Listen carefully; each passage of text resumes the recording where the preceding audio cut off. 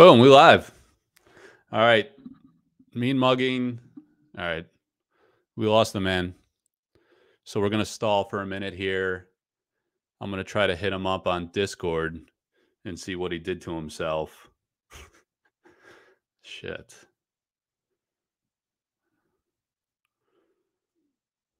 Let's see.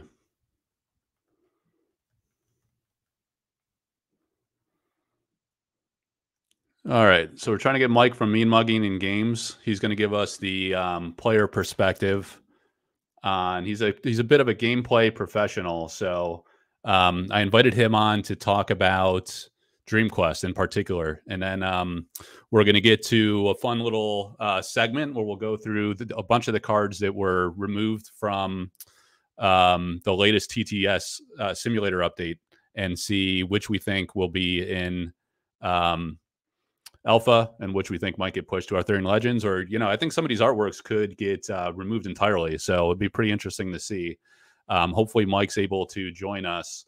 Or if there's somebody else that's um, following along that's um, played the game quite a bit, uh, we might be able to figure out a way to get you added into the stream and have you talk about your gameplay experience and some of your thoughts. All right, here's Mike private messaging me. Can you hear me? I lost you. Hey, there we go. All right.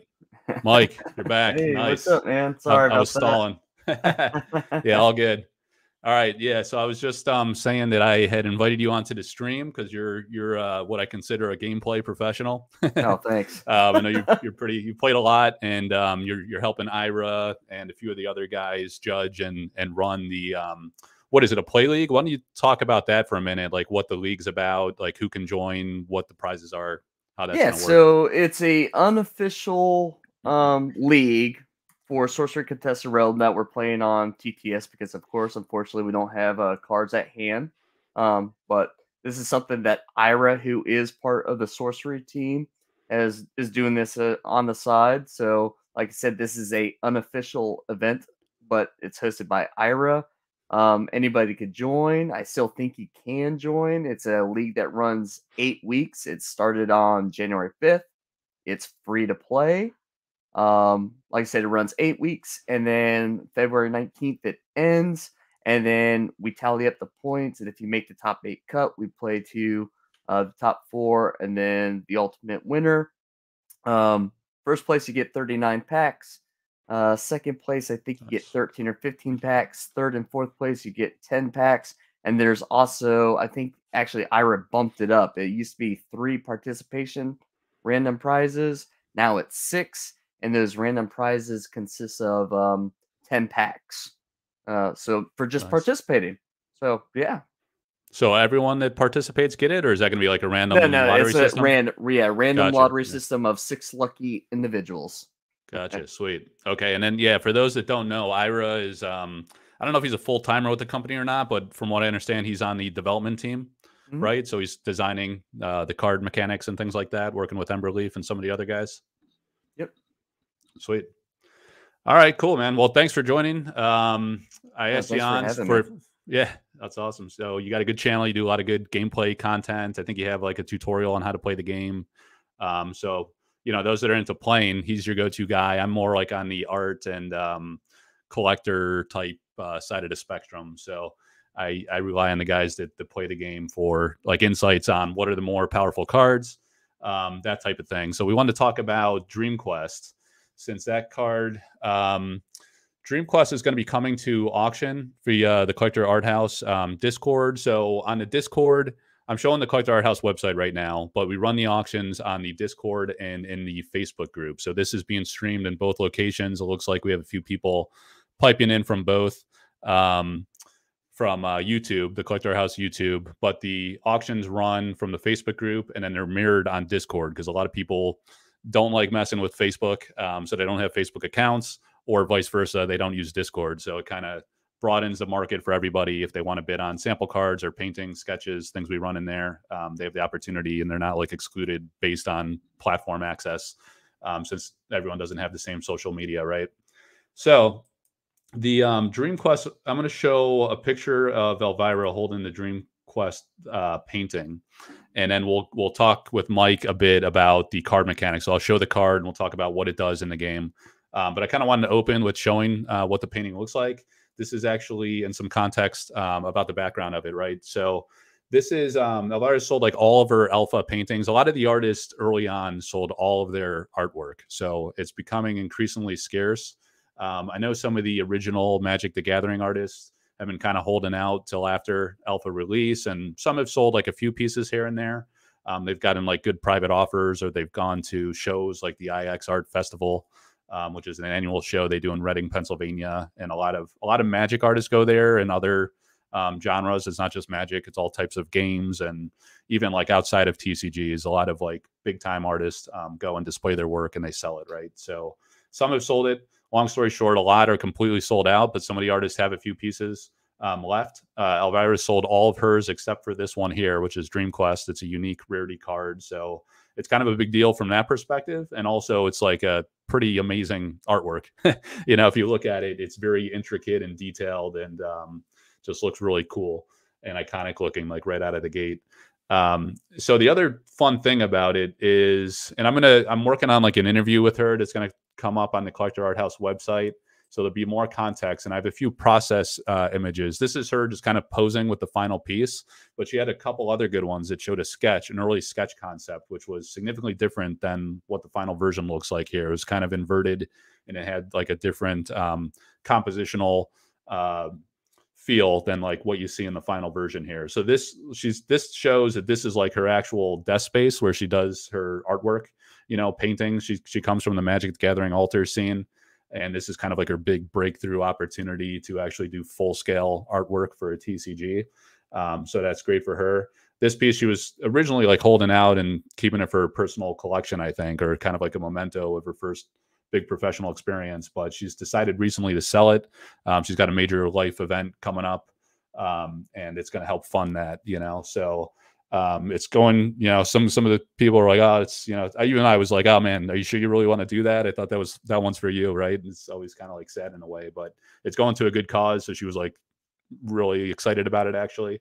Um, it's going to help her fund something else that's significant. But in a lot of her artwork, she hides. Um, you've probably seen this, Mike, in a lot of the cards where there's like a big text box right here, right? Mm-hmm. Um, where the game mechanic goes. So you as a player, that's something you're looking at all the time.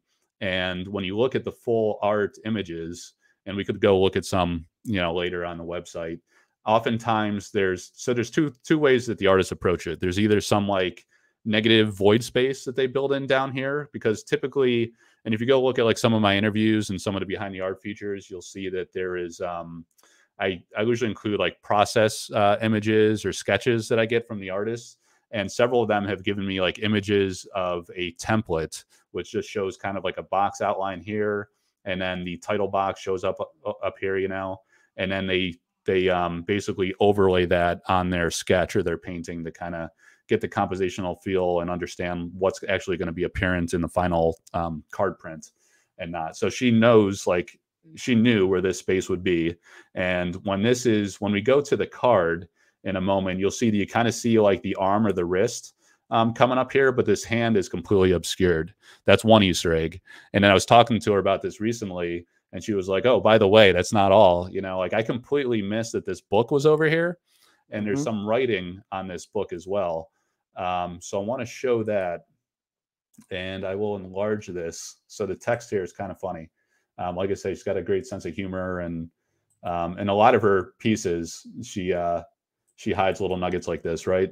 So I don't know, is this, I don't know how well this is coming across. So I'm going to try to read it. It says, Hey there. I think uh, some of this I I'm trying guessing a little bit because it's hard to see. It's a little blurry, but it says, Hey there, you. Yes, you.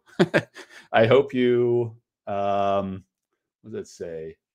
I hope you're, can you make out what that says? I hope you're you having good day. I hope you're having a good day. Yeah, yeah you're having call. a good day. Uh-huh. Uh, anyway, made you look and smile, love, and then I think that says L, like for Elvira. that's awesome. So that's like uh, the cool thing is like I've seen a lot of paintings because I help the artists like sell those, or I help other I do consignment and help other people resell. So I've had like the great fortune. One of the most exciting um, aspects of that is getting to see a lot of the art in person. And like when you see it full scale, you discover stuff like this, right? Like when you look at the image on the last page that we just saw, you really can't um, make out what that is. Even if you Right. zoomed, it's probably gonna be pretty blurred. So she like took a picture of the original painting and sent this to me so we can make it out a little better. But it's kind of cool to discover those little little nuggets when you see them in person. Um, and that's, yeah, that's awesome, man. I I love and like you were saying about the text box, you know, I you know when you're looking at the card, you're not seeing any of that because that that that book's hidden and and the uh was it the the hand right? They had like the yep. creature's hand trying to reach for her is missing. So yeah, it's it's really cool. Yeah, let's uh while we're on that point, let's go to the card on her website. So I have it organized by artist here on the page. And yeah, so you see like the little uh, like when you look at this, you, you wouldn't even know that's a wrist creeping up. Like I certainly didn't, you know, I had no idea until I saw the full art and then it becomes like, oh wow, that's that's actually pretty pretty sweet. And the book here looks like it's just nothing.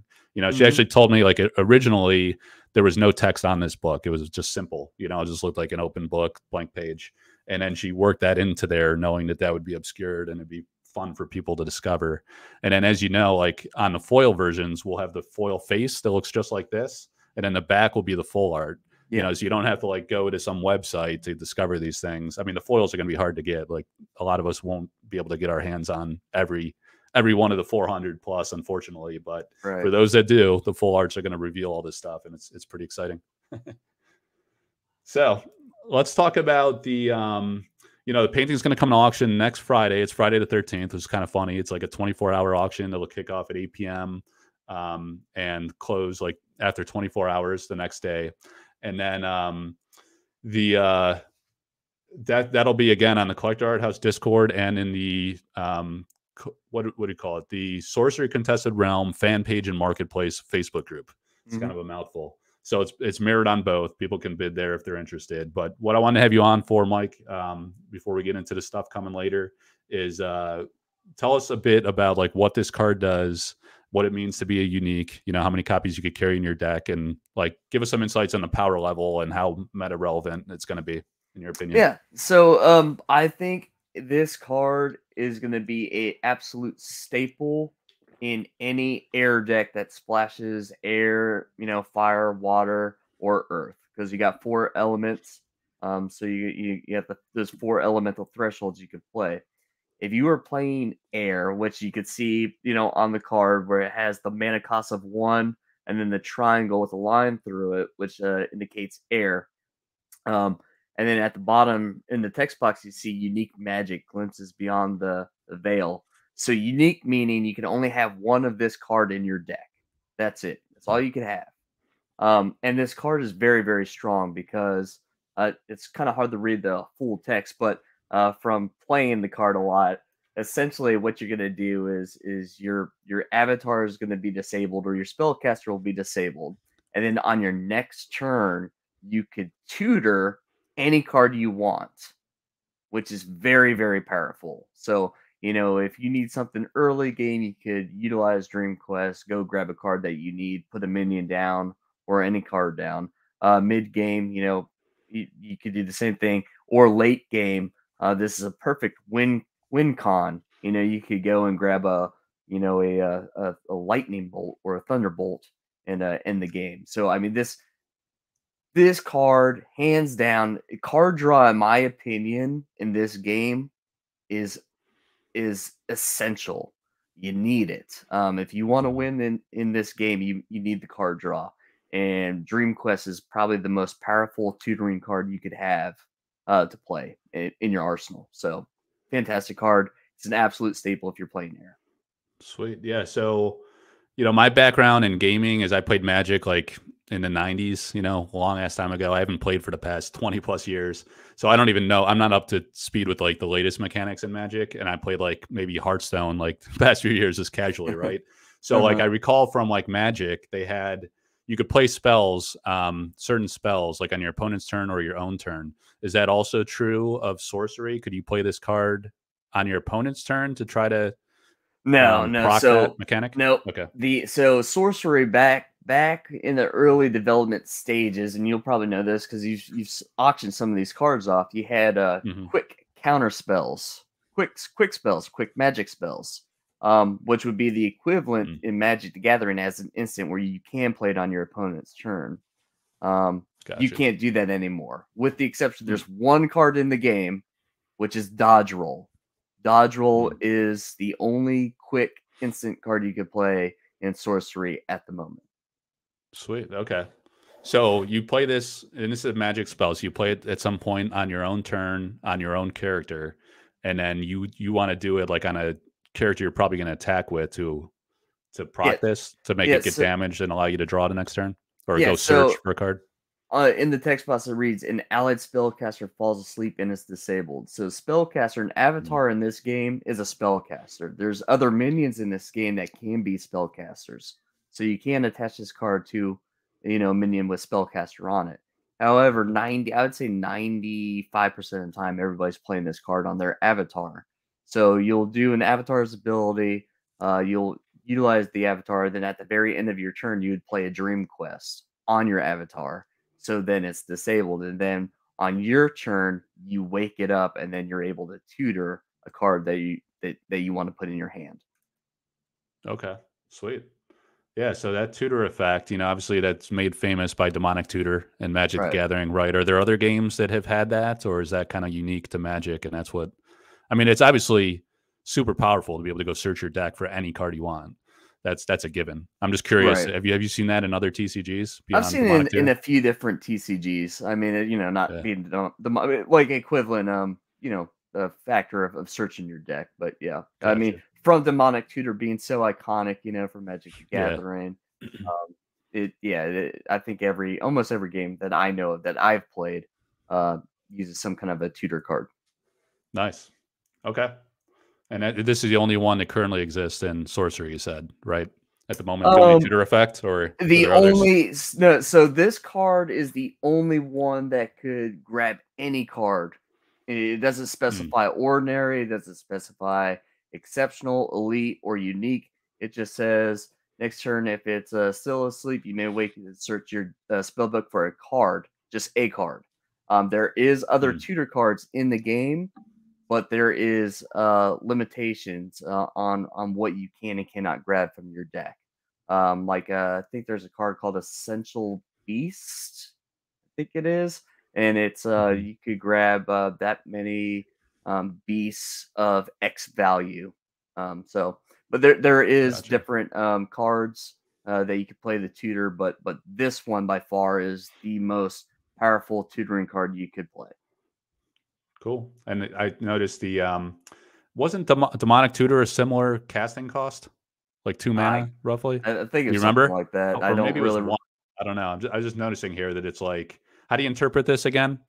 Just so for the viewers that maybe not not familiar with the game. Yeah, the so one- versus threshold.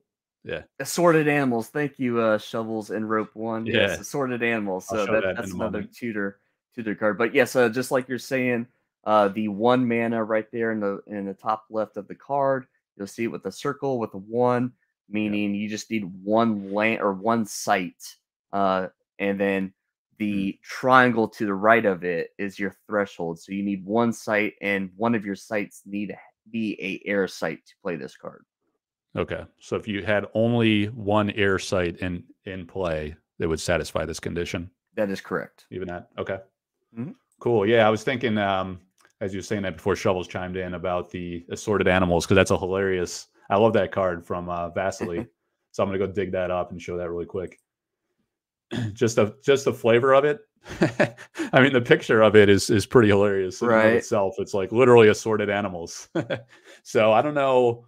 You know, one funny. I, I'm trying to remember like if that was always the name of this card, or I want to say this this card may have appeared pretty late, like in the more recent um, TTS update. So we hadn't seen it early on. But like a lot of the name changes, a lot of the card titles have changed through development, and they're Mhm. either like to be more flavorful in a funny way or more like iconic sounding. Um, and, and from what I've noticed too, and then you have a lot of like. Um, like wording the, the is very precise typically in a type line text so it says elite magic of motley menagerie and there's a Mhm. lot of um uh, alliteration i guess is the right phrase if, I, if Mhm. i'm uh, if I remember from grammar so that this i've seen this like a lot in the latest updates so i think i heard um through the grapevine that maybe Nick Reynolds, the co-creator, was the guy that was really in charge of um, the Typeline text. Hopefully, I got that right. I'm sure like Eric had a hand in it and developers and whatnot. But they actually, um, there's a guy that showed up in in my Discord, Collector Arthouse Discord, that said he he was like a friend of Eric and he had worked with him. I think on Path of Exile, um, which is obviously the the major success that Eric had before um, sorcery. And then he, he, was also involved early on. In, he's like a writer, you know, or like a, I think he's like a lore lore writer, you know, okay, um, writes yeah. like the flavor and lore of like games. He might have actually worked on Flesh and Blood too. Okay. Um, but he worked on sorcery and I believe Path of Exile with with Grinding Gear Games, and he was like early on helping the, the team, Eric and um, and Nick presumably write like some of this flavor text. You know, flavor text shows up in the text box, but the type line text, the titles, um, so there was some early stuff, and then like it's evolved and changed so much. We see in the sample cards, uh, it sometimes is night and day different um, from that versus the alpha version. And everything on the website here is is the alpha, the latest alpha version. Um, but I just noticed that a lot recently, the alliteration that happens on that typeline text, and it's Right. always like something pretty funny or like really epic sounding, you know. Mm-hmm. So that's cool. Yeah, but that's a that's an amazing artwork by Vasily. He's a he's a great artist. His style's like so so unique. No, I And love it. Oh yeah, it's, it's fantastic. And It's like like- and going back to the to the flavor Yeah. text, man. That's that's what really like. I laugh Mhm. every time I see some of these cards. You're right. I'm like, all right. Yeah, that's what it makes it a real fun game. Like like I Yeah. say, I played Magic like years ago, Hearthstone. So I've you know I collected Flesh and Blood a little bit, um, but I can't recall like any game that's like really invests so much time and energy into like the flavor text, the typeline text. Because the typeline text, I mean, if I recall correctly, in Magic you have like a card type, you know, Mhm. um, up here above the game mechanic. It doesn't have like a, a one liner like this. So it's Right. like an extra flavor element um, that like really complements the artwork really well and the card title and makes it all synergistic and like a lot more fun, you know, a fun game in general, I think. And just like uh, just showing this card where it says Elite Magic of Motley Menagerie, like you said, the elite keyword right there in this is uh, meaning you can only have two of these cards in your deck. So Yeah. yeah, really neat. I love it. It's a fantastic card, beautiful card. Yep. All right. So we talked about let me let me pull down this little banner here. We're gonna get off the topic of the um Dream Quest. So thanks for your insights on that. That was pretty sweet. Um and then so I wanted to play this game of in or out of alpha. so I just like about an hour ago, I added this page um, at collectorhouse.com. So when you click on sorcery cards at the top, just so people know how to navigate this, you're going to find like an image of all the different artists. Um, the site is really more artist centric, I would say, um, with all the different like artist backgrounds behind the art, um, articles and interviews with artists and things like that, right? So that's why I have it sorted by artist. But you can also hover over and find a few other pre-stage filters. You know, I'm kind of like a rookie at web design. I had to learn all this from scratch, right? So I did it probably a very archaic, like old-fashioned way. So I have like a menu, and if you so the, the one searchable way is like we were just looking at um, Elvira cards, right? So you'd click on her image and you'd find all her cards. But if you just hover hover over the top here, there's a few other categories. Like if you want to see all cards in the set, says all cards, and then um, each of the different element types and things, spells versus sites and then avatars. But I added this unconfirmed for alpha, and this is um pretty interesting. Like all the there's 33 cards on this page, just for context. And then um, there's 32 that were introduced at some point along the way or were in TTS, I think, in the last I want to say that was there a TTS update in September and then again maybe early November? Yeah, roughly? I think it was. I think it was uh, July, Mhm. August. I think August or September, like you said, and then we Mhm. had another uh, one which was version zero point eight in October, and that's what we have currently right now. Okay. Yeah, so there's three as I recall, because I know like looking in my folders how I built the page. There was one like roughly in May, then again like you say August, September ish, and then October, and then this is like what we expect to see. Everything except this page is what we expect to be the final version for Alpha. So what this page is, this is all the cards that were not um, included in the latest TTS. And for those that are new, um, that's Tabletop Simulator. You can go play the game on that simulator. Um, so those are cards that are not in there. So we don't know if they're in alpha or not. So um, I went and like gathered all the cards and slapped them on one page here. And then the one exception to that is initially when the team sent me the update to um, update my website here with all the alpha cards, uh, Ball Lightning was included. This Alan Pollack card, Ball Lightning, and it was an Elite Magic um, spell. And then they came back like a couple weeks later and like, oh, you know, we decided that's not going to be an alpha. So we know this one has been pulled. Um, it's kind of interesting because I have a sample card of that, and some of the guys are speculating like. Initially, I was like, if it's not an alpha, that hurts the value, right? Like I think it's like really epic and cool to be in the first debut release of a game, but some some others were like arguing, you know, if it's not an alpha, it, for one, it, there's no guarantee it's going to be an Arthurian Legends or something else. So it might be the one and only print, and there's so few sample cards that people care about that from a rarity and scarcity perspective. Mm-hmm. Um, or if it is included in Arthurian Legends, I think sample cards are like a one and done deal. You know, they were included the purpose fundamentally is to test the print of the card you know the, the, the print quality with your with your major um, printing factory and make sure the quality's to your standards and everything like that right or play around with like color saturation and optimize it to your liking um, but they were also given to youtube influencers early on I, I, started doing this kind of stuff like much later so i didn't i didn't get any of these personally likewise um, but, yeah but some of the bigger um, youtubers like four or five different guys got the full set of uh, precon decks. So they mm-hmm. got um, what is it? Earth, air, water, wind. Uh, they got the full decks of each of those. So they got a, like it's like 180 sample cards. It's insane. Right. And then um, Red Zone Rogue got like 12 packs, which we call the silver packs because there was no art printed on them. And then Team Covenant did a box opening where they got a, a full booster box of what we call art packs because it has the final artwork. Um, printed on the actual actual pack uh, packaging. Um, so it was. I think um, you typically see samples. Maybe you could tell me from your experience with other games.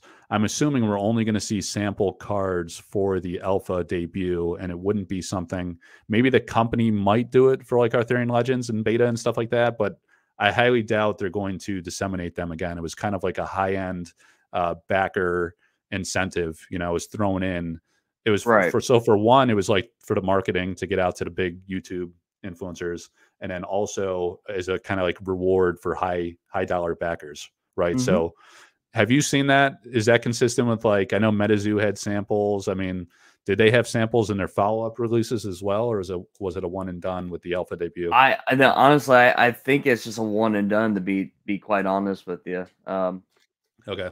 yeah, I, I, can't really speak on MetaZoo. I don't, I'm a big MetaZoo player. Oh, seen, okay. Seen the art, but uh, uh, not my cup gotcha. of tea. okay. Yeah, yeah, same here. I mean, I only care about sorcery personally, but I know you're a gamer and you play a few games, so I wasn't yeah. sure. Um, but yeah, so like my point there is if if it's um if it's an artwork that's being pushed to Arthurian Legends, but it was printed as a sample card, that's actually pretty crazy and cool because those are going to be like the only Arthurian Legends cards that have sample cards. Again, mm-hmm. assuming that they're not going to distribute sample cards again in the future. And I think um, I want to say like Simon might have actually uh, confirmed that in Discord. He was like, the the company really wants alpha to be the premium collectible, you know, like the, the mainstream, and then beta, and then the future sets. Like samples are like a niche, and um, people are into because they're very rare, or like early adopters love it because it's really cool to see the early development printed on a card and then mm-hmm. see it in alpha, so dramatically different. Um, but it's not supposed to be, you know, the comp. It's from the company's perspective. It's not look the chase.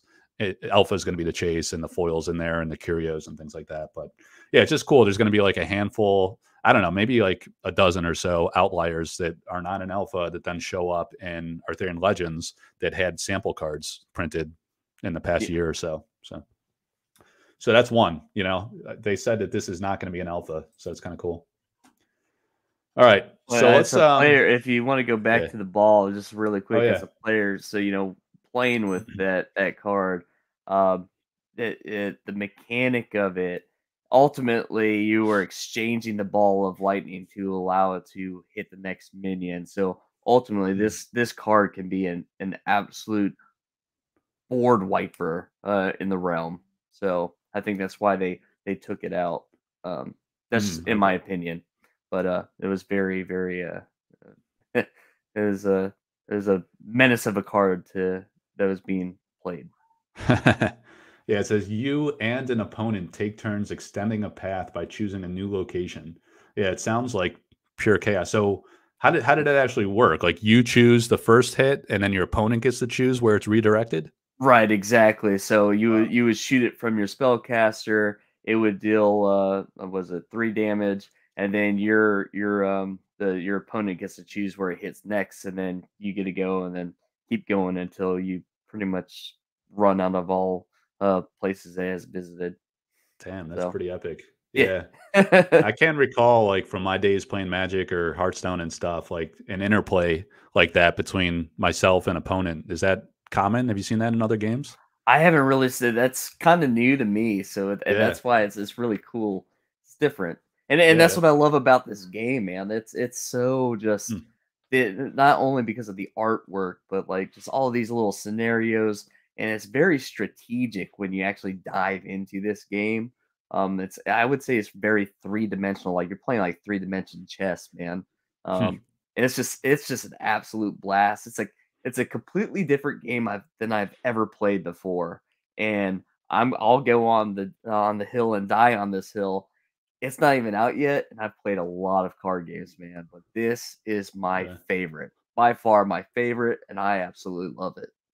yeah, that's that's important because like a lot of people you know, a lot of cynics were like, this is a, the, the worst cynics were saying things like, this is a um, NFT project, you know, because it's like all they talk about is the art. The art's amazing. That's all like the community talks about. And it's an NFT because it's not out in print form yet. So that's kind of a joke. Once it's out, it becomes like a printed product. But they thought it was all about the art and the gameplay itself didn't have a lot of substance. But so it's cool hearing from a guy like you that's played not only this game a lot, but other TCGs. And by comparison, this is your favorite.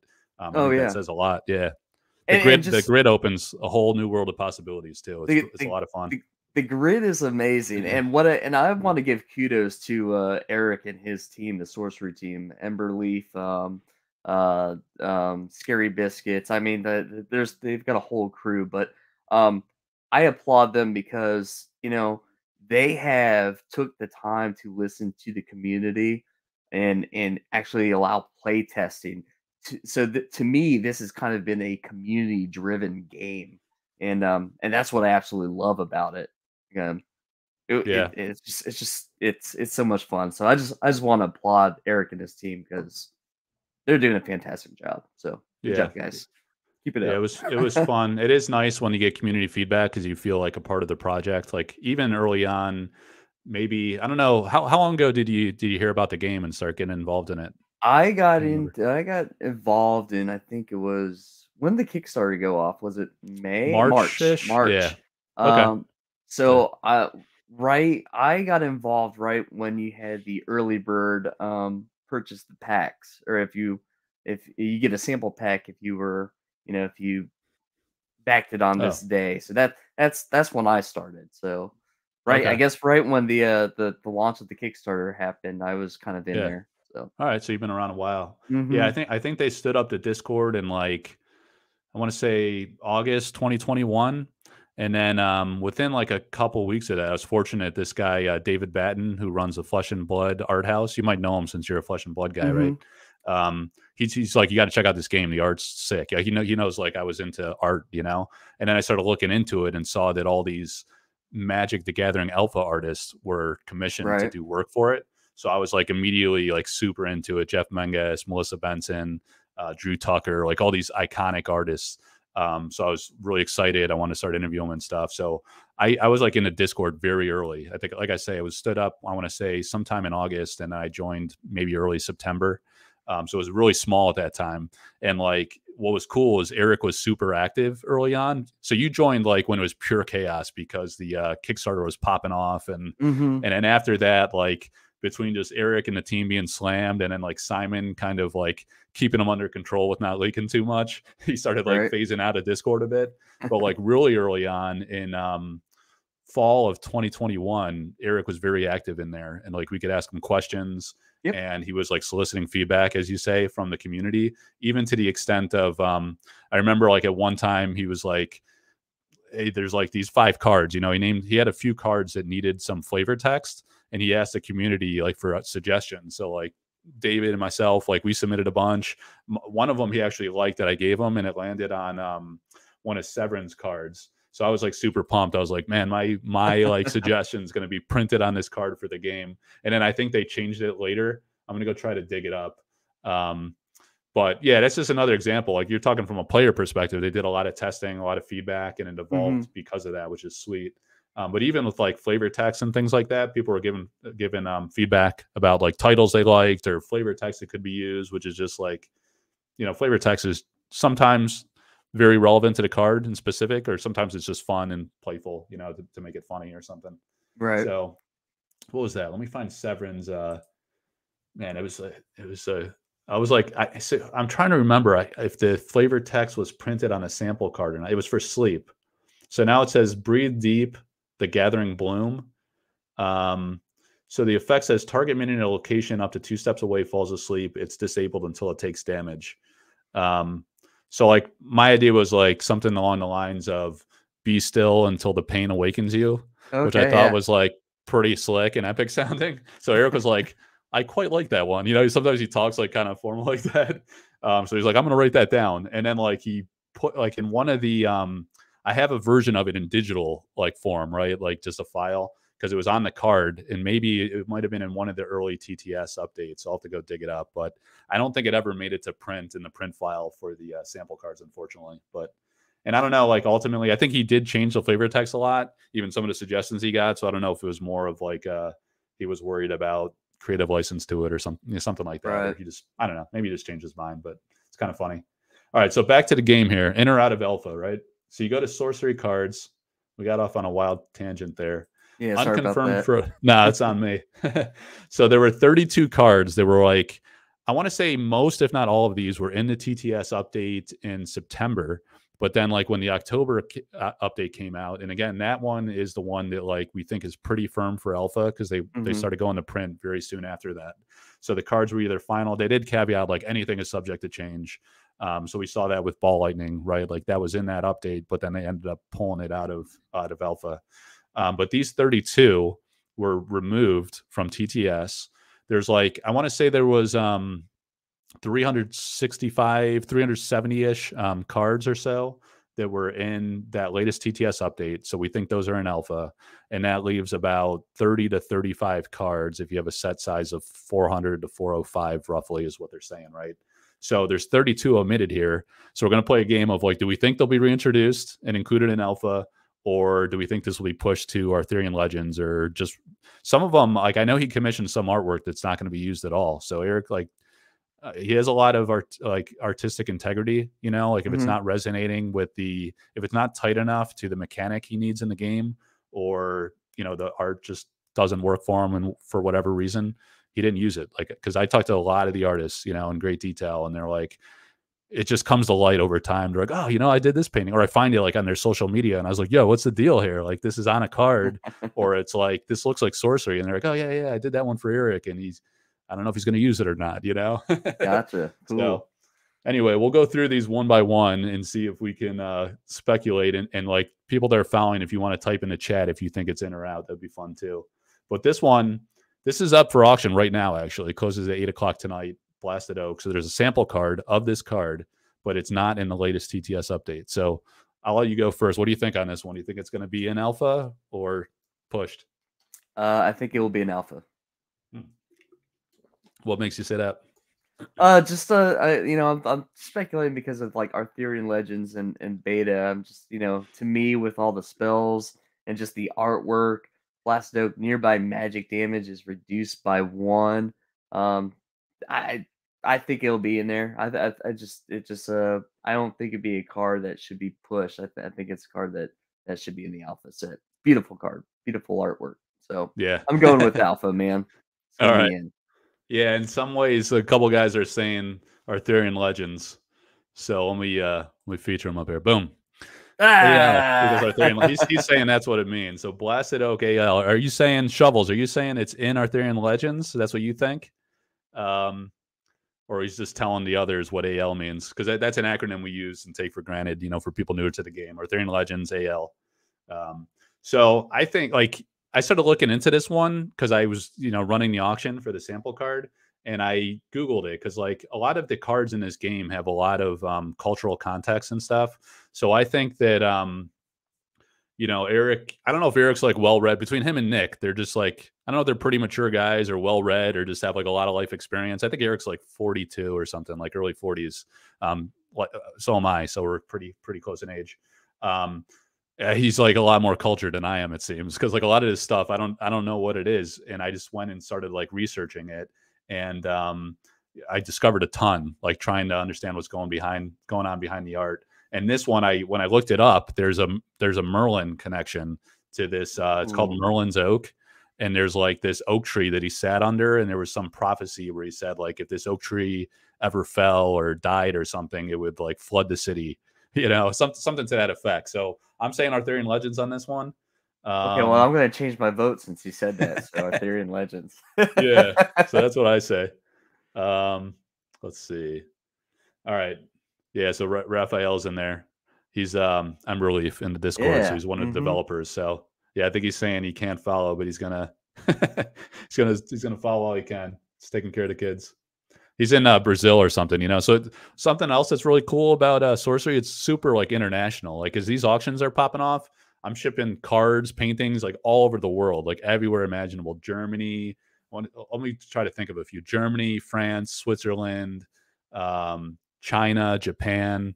There's people everywhere, and those are like some of the hardcore collectors too that yeah. are really like ponying up for samples or paintings. Canada is another one. Um, there's a lot yeah. in the U.S., you know, mm-hmm. but they're everywhere. Are you seeing yeah, that, like in yeah, gameplay? yeah? I mean, gameplay like uh like this morning. Shout out to the Vile mm. one. You know, he's from Ireland. Uh, oh, so nice. yeah, it's uh it's it's really cool uh, uh, to play on. That's one of the cool things about TTS too. Is you can play with people all around the world in the the middle of your room. So yeah, yeah, yeah, for sure. Um, all right, Cerberus and chains. What do you think on this one? A unique. So unique demon on a short leash. Let me read the text really quick. Um, I, have seen this played. I'm I. This is definitely an alpha. I don't I don't have the uh the Arthurian Legends vibe to it. So when I think of mm-hmm. Arthurian Legends, like you said, Merlin, um, you know, uh, the King Arthur, um, Excalibur. So I, I just don't see Cer- uh, Cerberus in chains in in that Arthurian Legends uh, scheme. So I'm going with Alpha. Yeah, I got to agree with you there. I can't think of any logical connection for Arthurian Legends here. So why do you think it was um as a game player, do you think it was pulled out because it needs some rebalance or uh, some improvement to the game mechanic?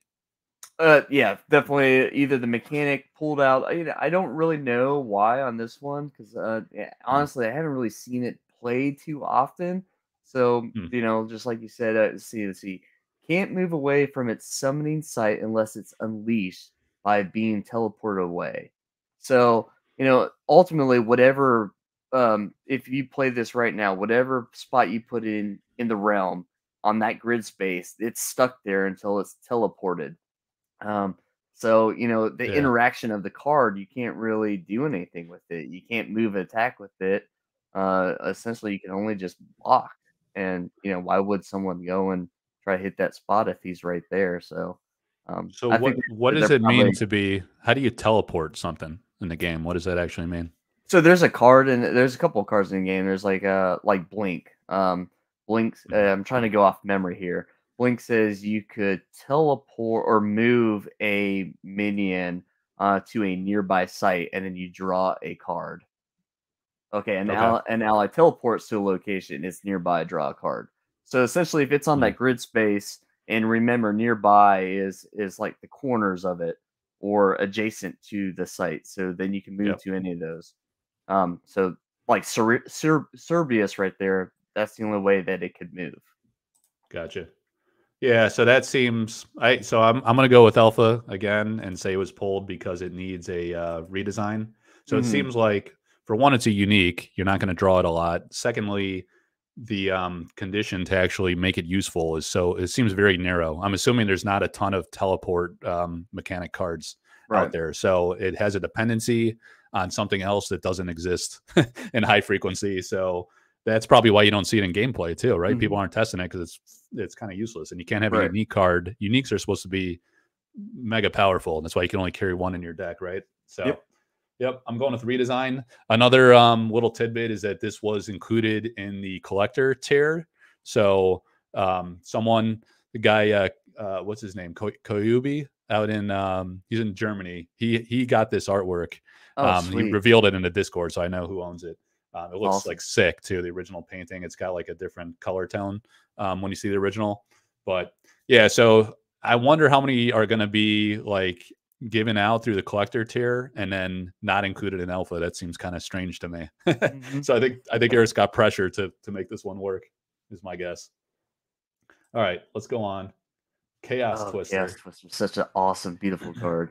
Yeah, talk about how it works and then like what do you think in or out.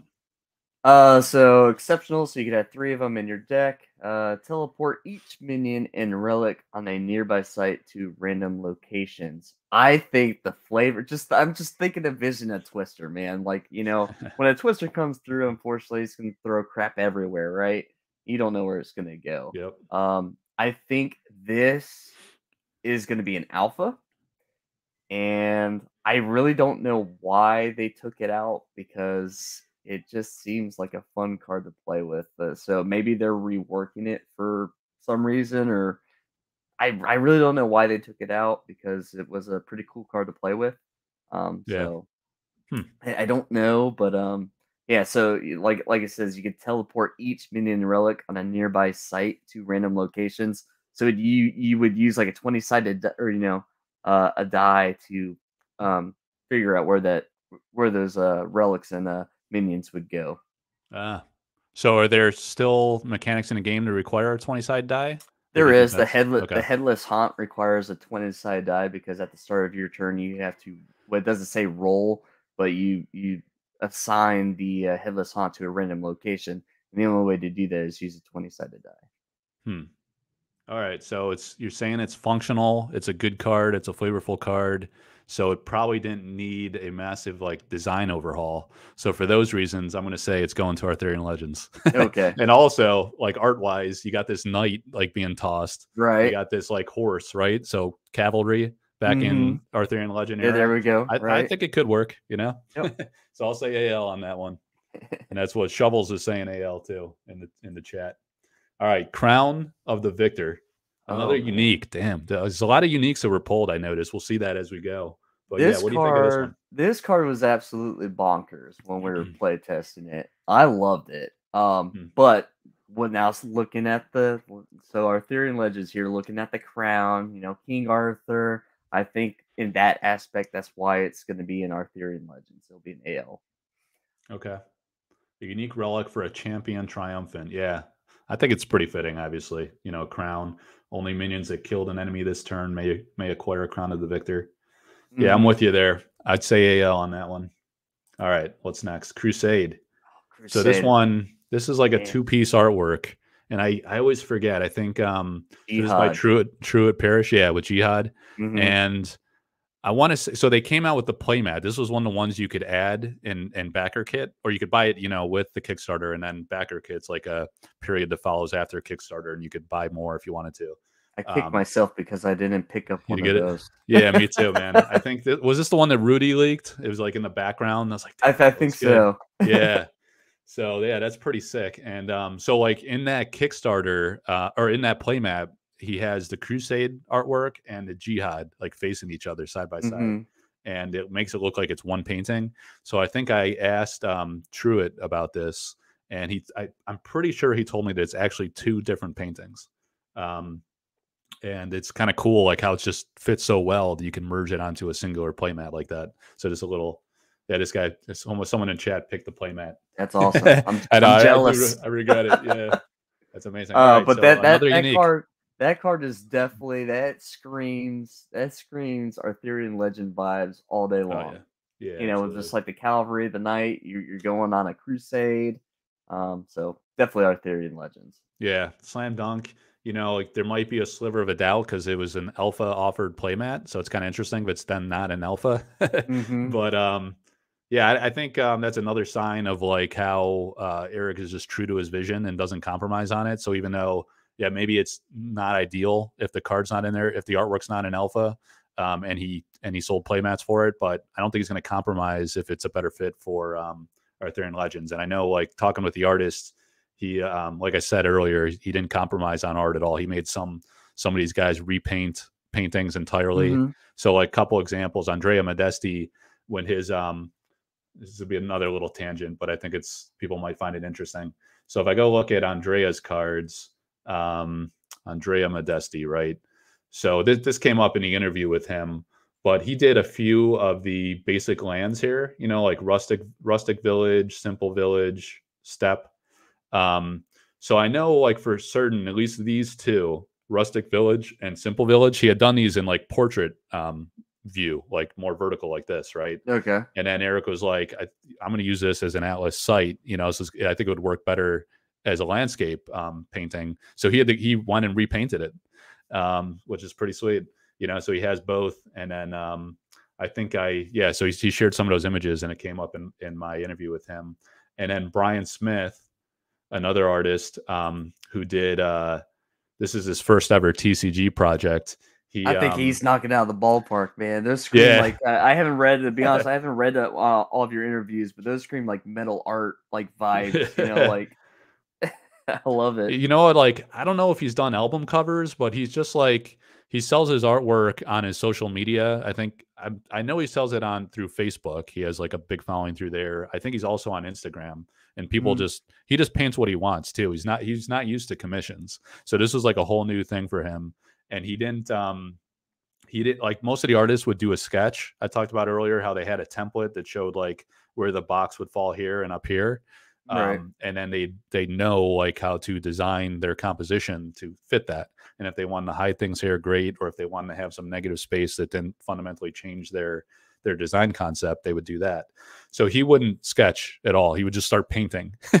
And i don't know if he i think he ignored the template or didn't have the template but like he would just said like erik put him through the ringer and like he would spend a month like painting up this or doing a painting and he'd be like nah you know it's not gonna work. Sorry. I, you gotta let's, let's change it like this right?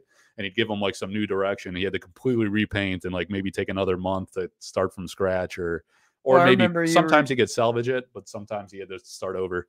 Like the big one was like the devil's egg, right? And he definitely like Oh, yeah. do a lot of yeah. hmm Yeah, and like I want to show one example. I did um one of the guys in my Patreon Discord, um, he's in both.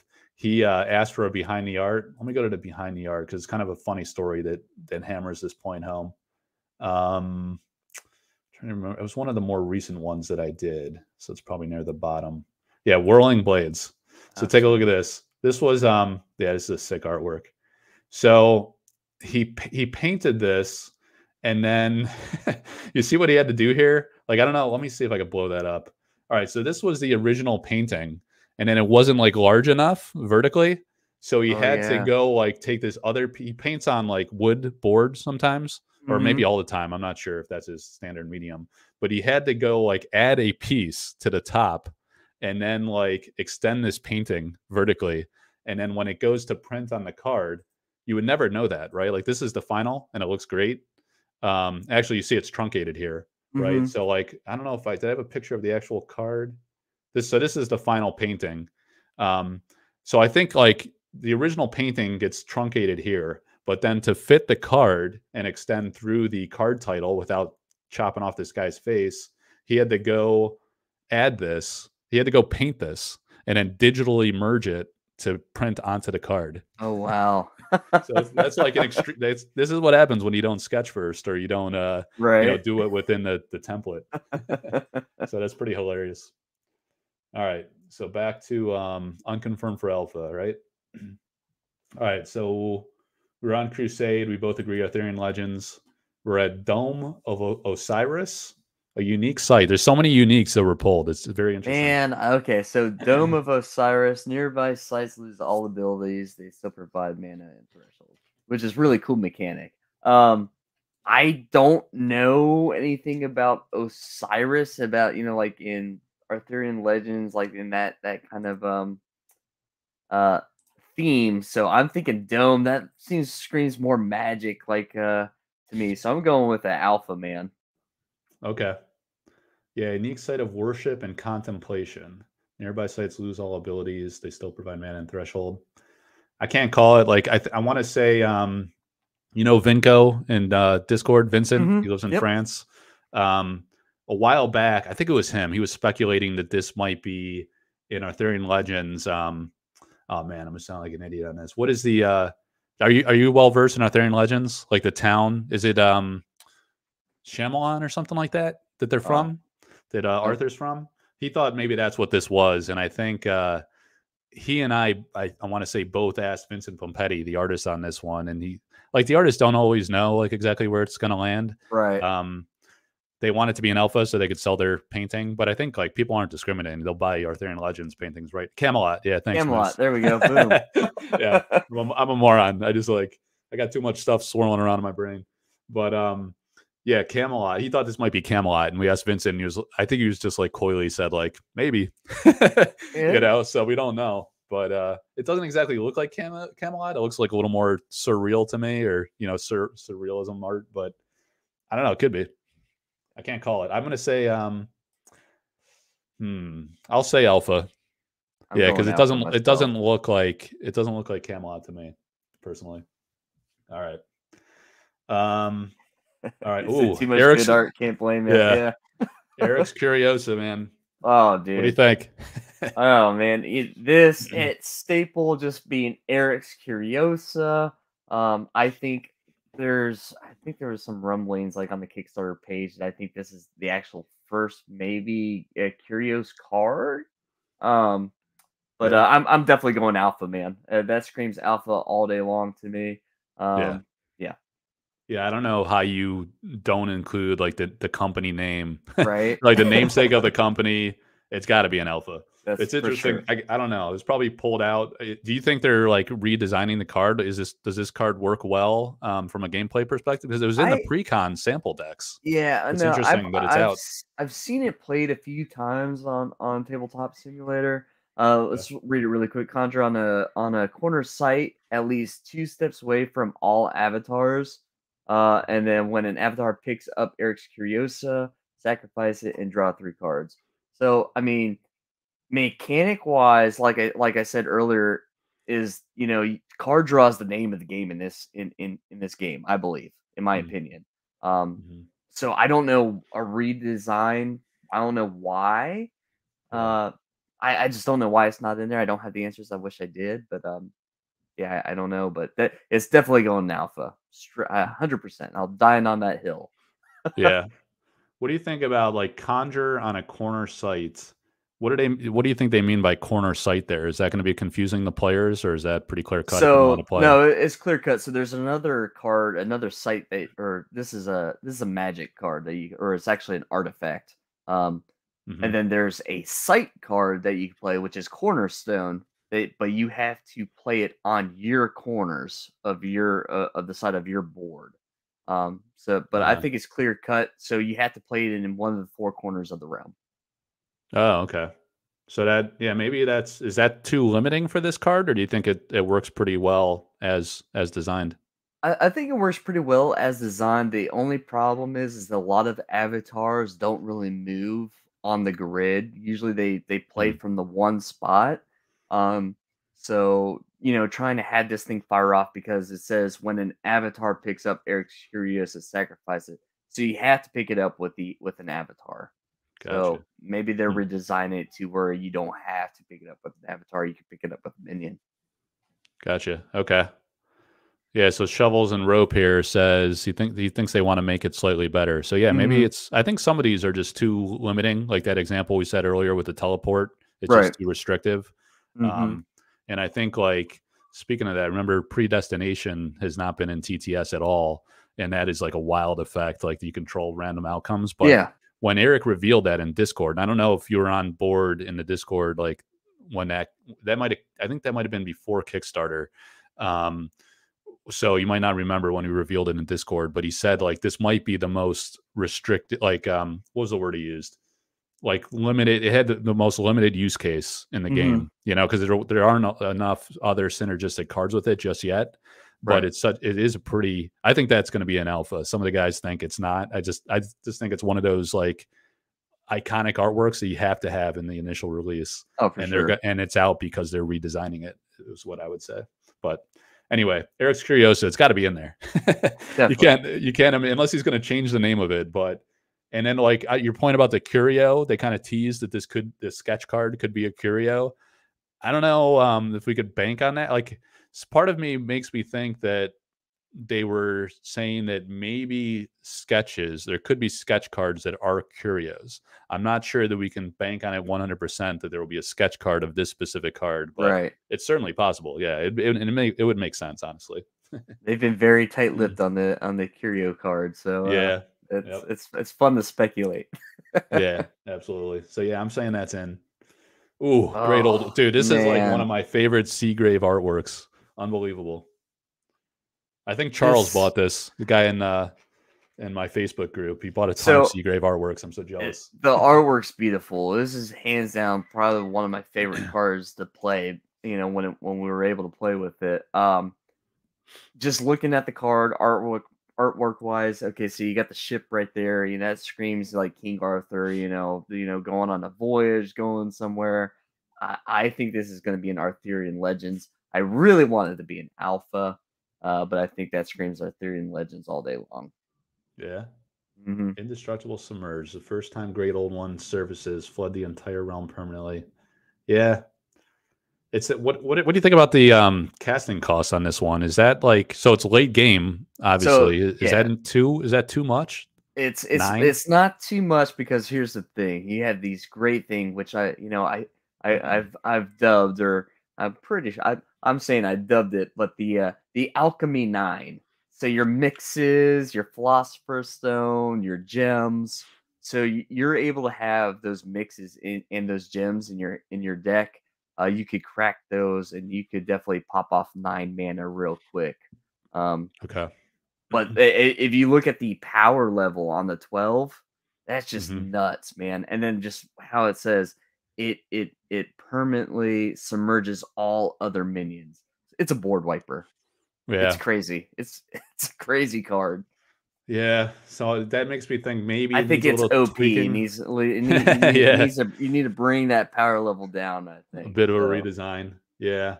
Yeah, with the, with the ship, I think it could be fitting of Arthurian Legends. Uh, uh, the thing is though, it just looks it's just such an iconic looking artwork that uh it is. I think it would be a nice inclusion. Yeah, I want it to be an alpha, but I want to say 50-50 on this one. You know, I can't Mhm. call it. All right. Grim Reaper. Yeah, another Oh, one. So this was in the collector tier. You know, he gave away this artwork in the collector tier pledge. Um and it's another unique they're they're screwing around with. So what do you think? Grim Reaper. So it's a unique. Um, let's see. Enters the realm at a random location. There's that that random thing. Yeah. Um, and it shares location with any other minions. Kill one, shuffle Grim Reaper. Uh, I I don't see what's wrong with this card. I don't know why it's not in. I want. I think it's. I think it's alpha. I think it's going to be in the alpha set. Yeah. So it's modest casting cost. So this is a it's a spirit, so it's a minion. It has no uh, how does zero health work? Is this a minion that has zero health? How does that yeah, make it- sense? it's it's zero health, um, and it's indestructible. It has void walk, uh, and the keyword right there is the indes- indestructible. Yeah. Um, so it enters the realm on a random location. So you have to roll a twenty-sided die. It, sh- uh, shares a location with any other minions. Kill one and shuffle Grim Reaper. So ultimately, wherever Oh, that Grim Reaper is, gonna, just think of like Grim Reaper, Death Touch, man. He gets Yeah, you, and then uh, That's yeah. sick, dude. I love that. Yeah, so it comes in, kills somebody. I guess the, the part I didn't read it all the way through. It goes back into your spell book, so it's not like just sitting in the realm useless with Right. no no attack ability. So it just comes and poaches people. Man, It's- that's it's- that is sick. It's, it's got to be. It's got to be Arthurian Legends. I say because it's all about Arthurian combat. Legends? it's all Yeah. about like warring and battle and epic.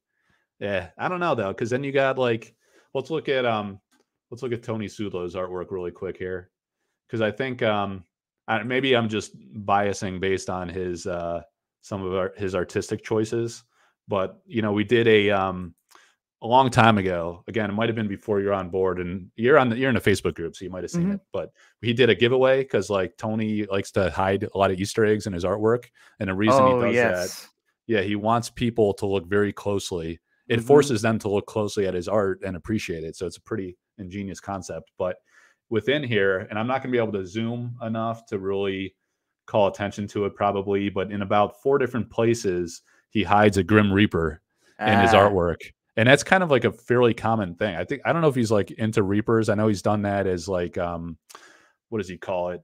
Like when he does a special print, sometimes he'll he'll do like a little Reaper um drawing on there next to his signature.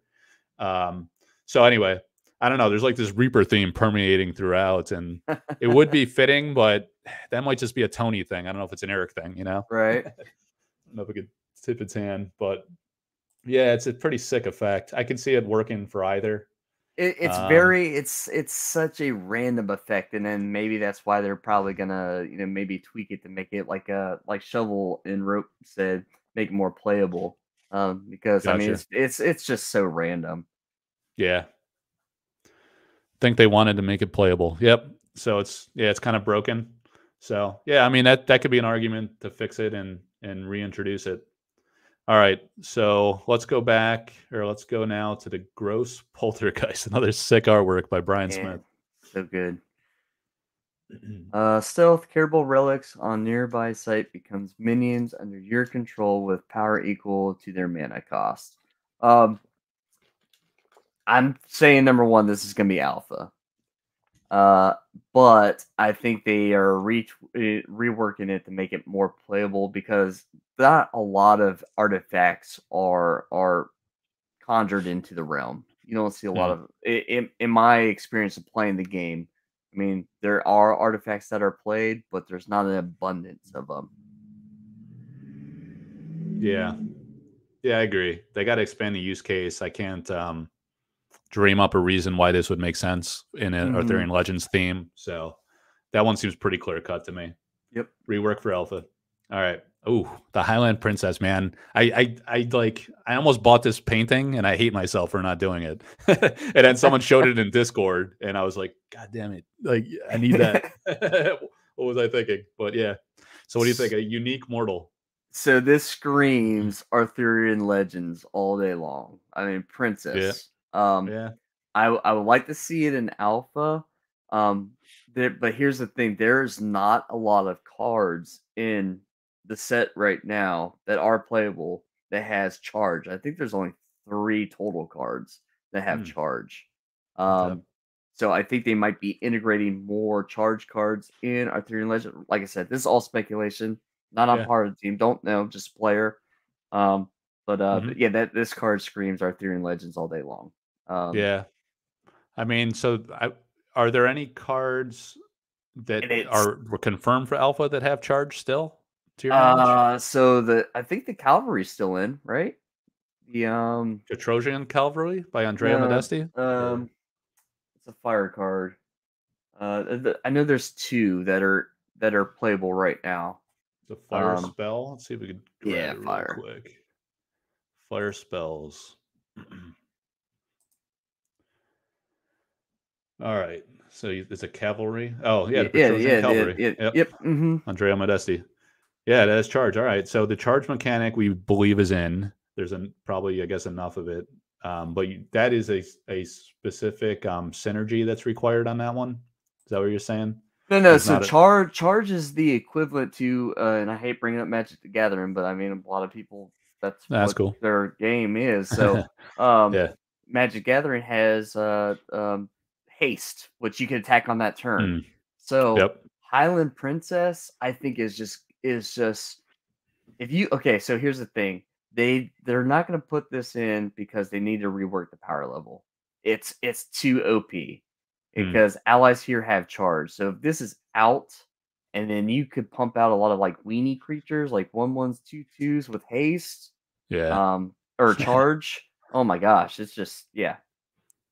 Yeah, I mean that that's a common like in Hearthstone. That's a pretty common archetype, right? I think they also I want to say they, they might also have a charge mechanic where you can attack right away, and then that's like Mhm. a, a aggro deck, is you know what they say.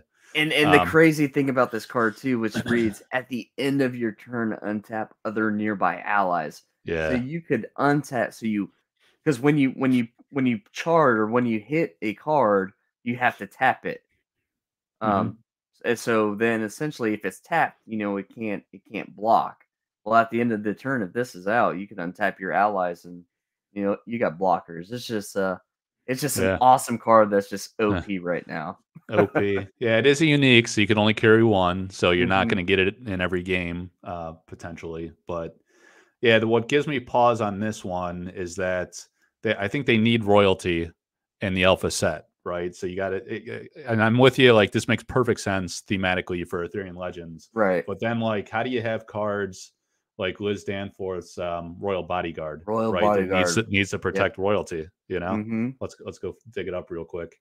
Um, an elite mortal of steadfast loyalty. If a nearby avatar or royalty, king, queen, prince, or princess, so you got to have one of those in the game for this to make any sense at all, would take damage. Royal bodyguard may take that damage instead. So this makes me think it's alpha because there's only one princess, right? The Highland Right. princess. Just one Um, princess. Mhm. Otherwise, you got to revise this one, or that's going to be an awkward miss. Yeah. Nope. I, no, I agree with you. Yeah.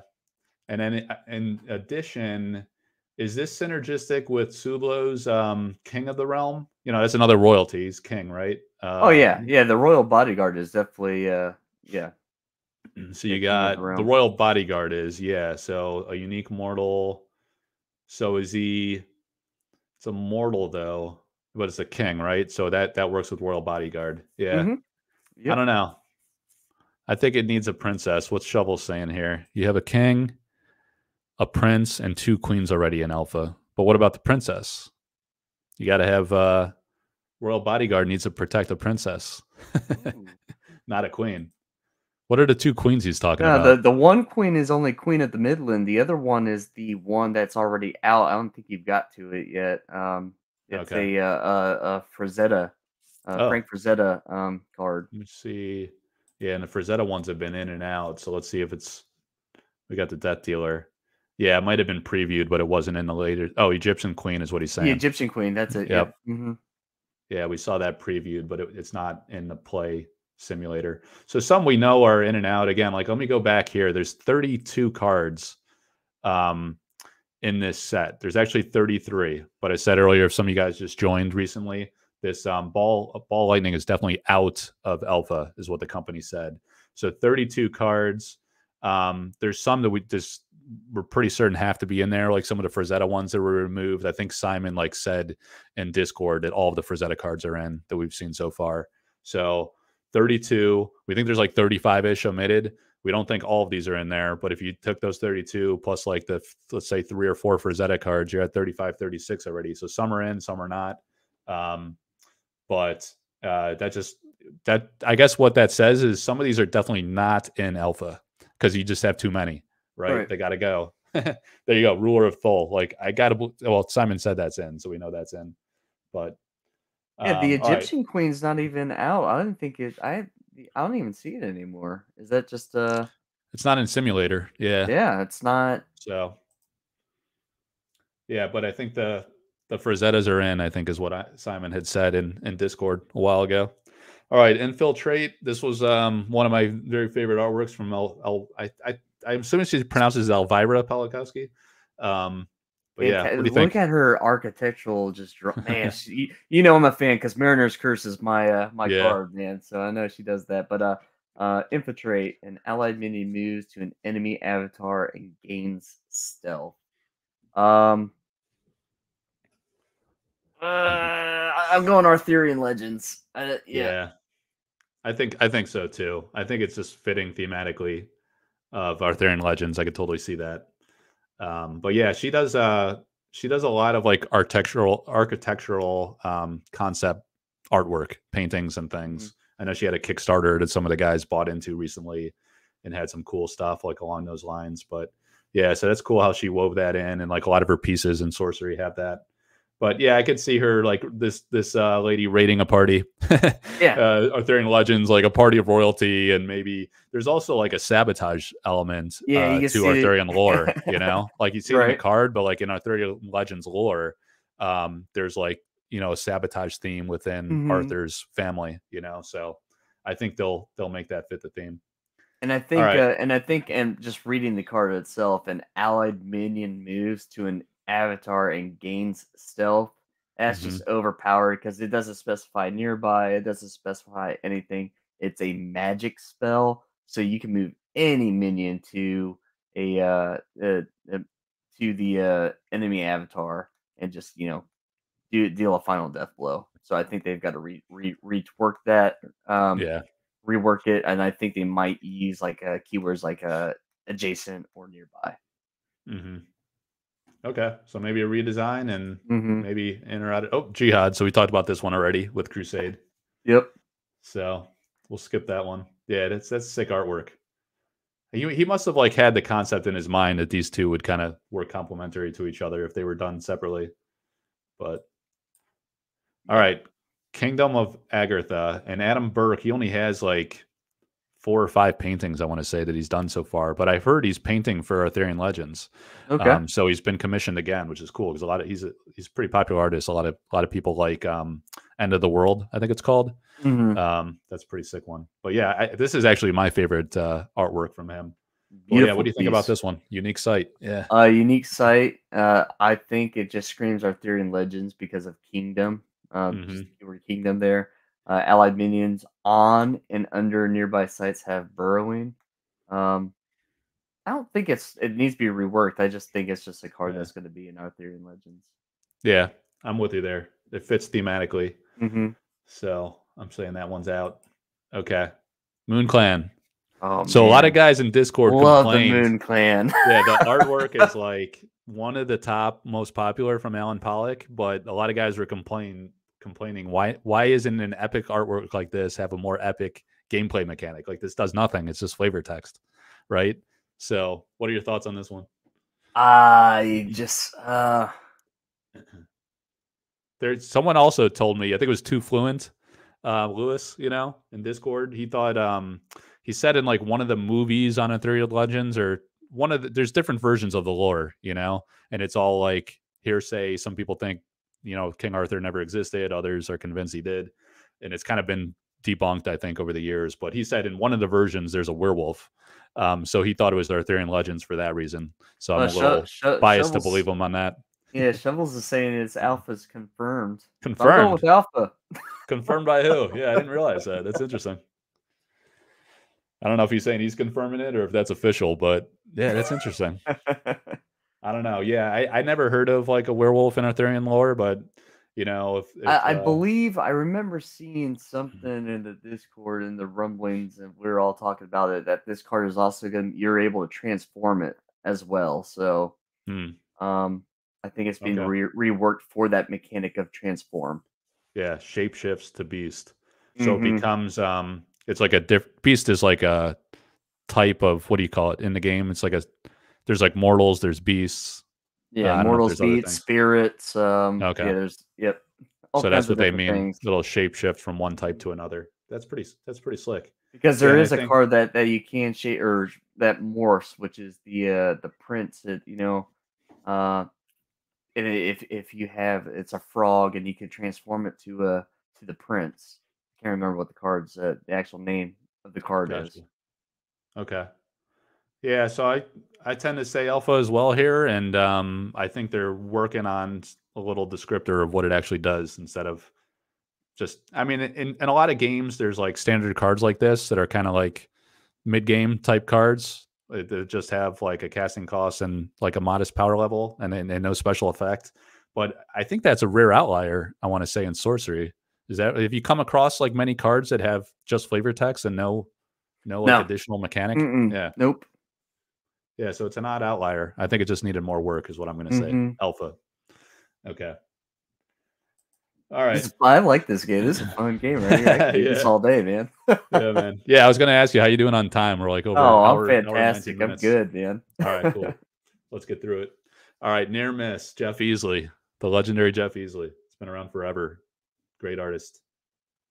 Uh, so uh, here's one of those things that we're talking about. There's only one card in the game at the moment that utilizes the word "quick" in an instant, and that is dodge roll.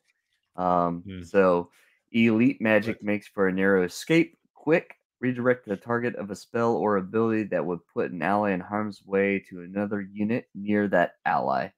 Um, I just think it's a rework. Uh, just looking just because of the artwork screams to me like Arthurian Legends because of you know like Merlin and all that stuff. So I'm just going with Arthurian Legends. I pretty sure it's an alpha, but I want it to be an Arthurian Legends.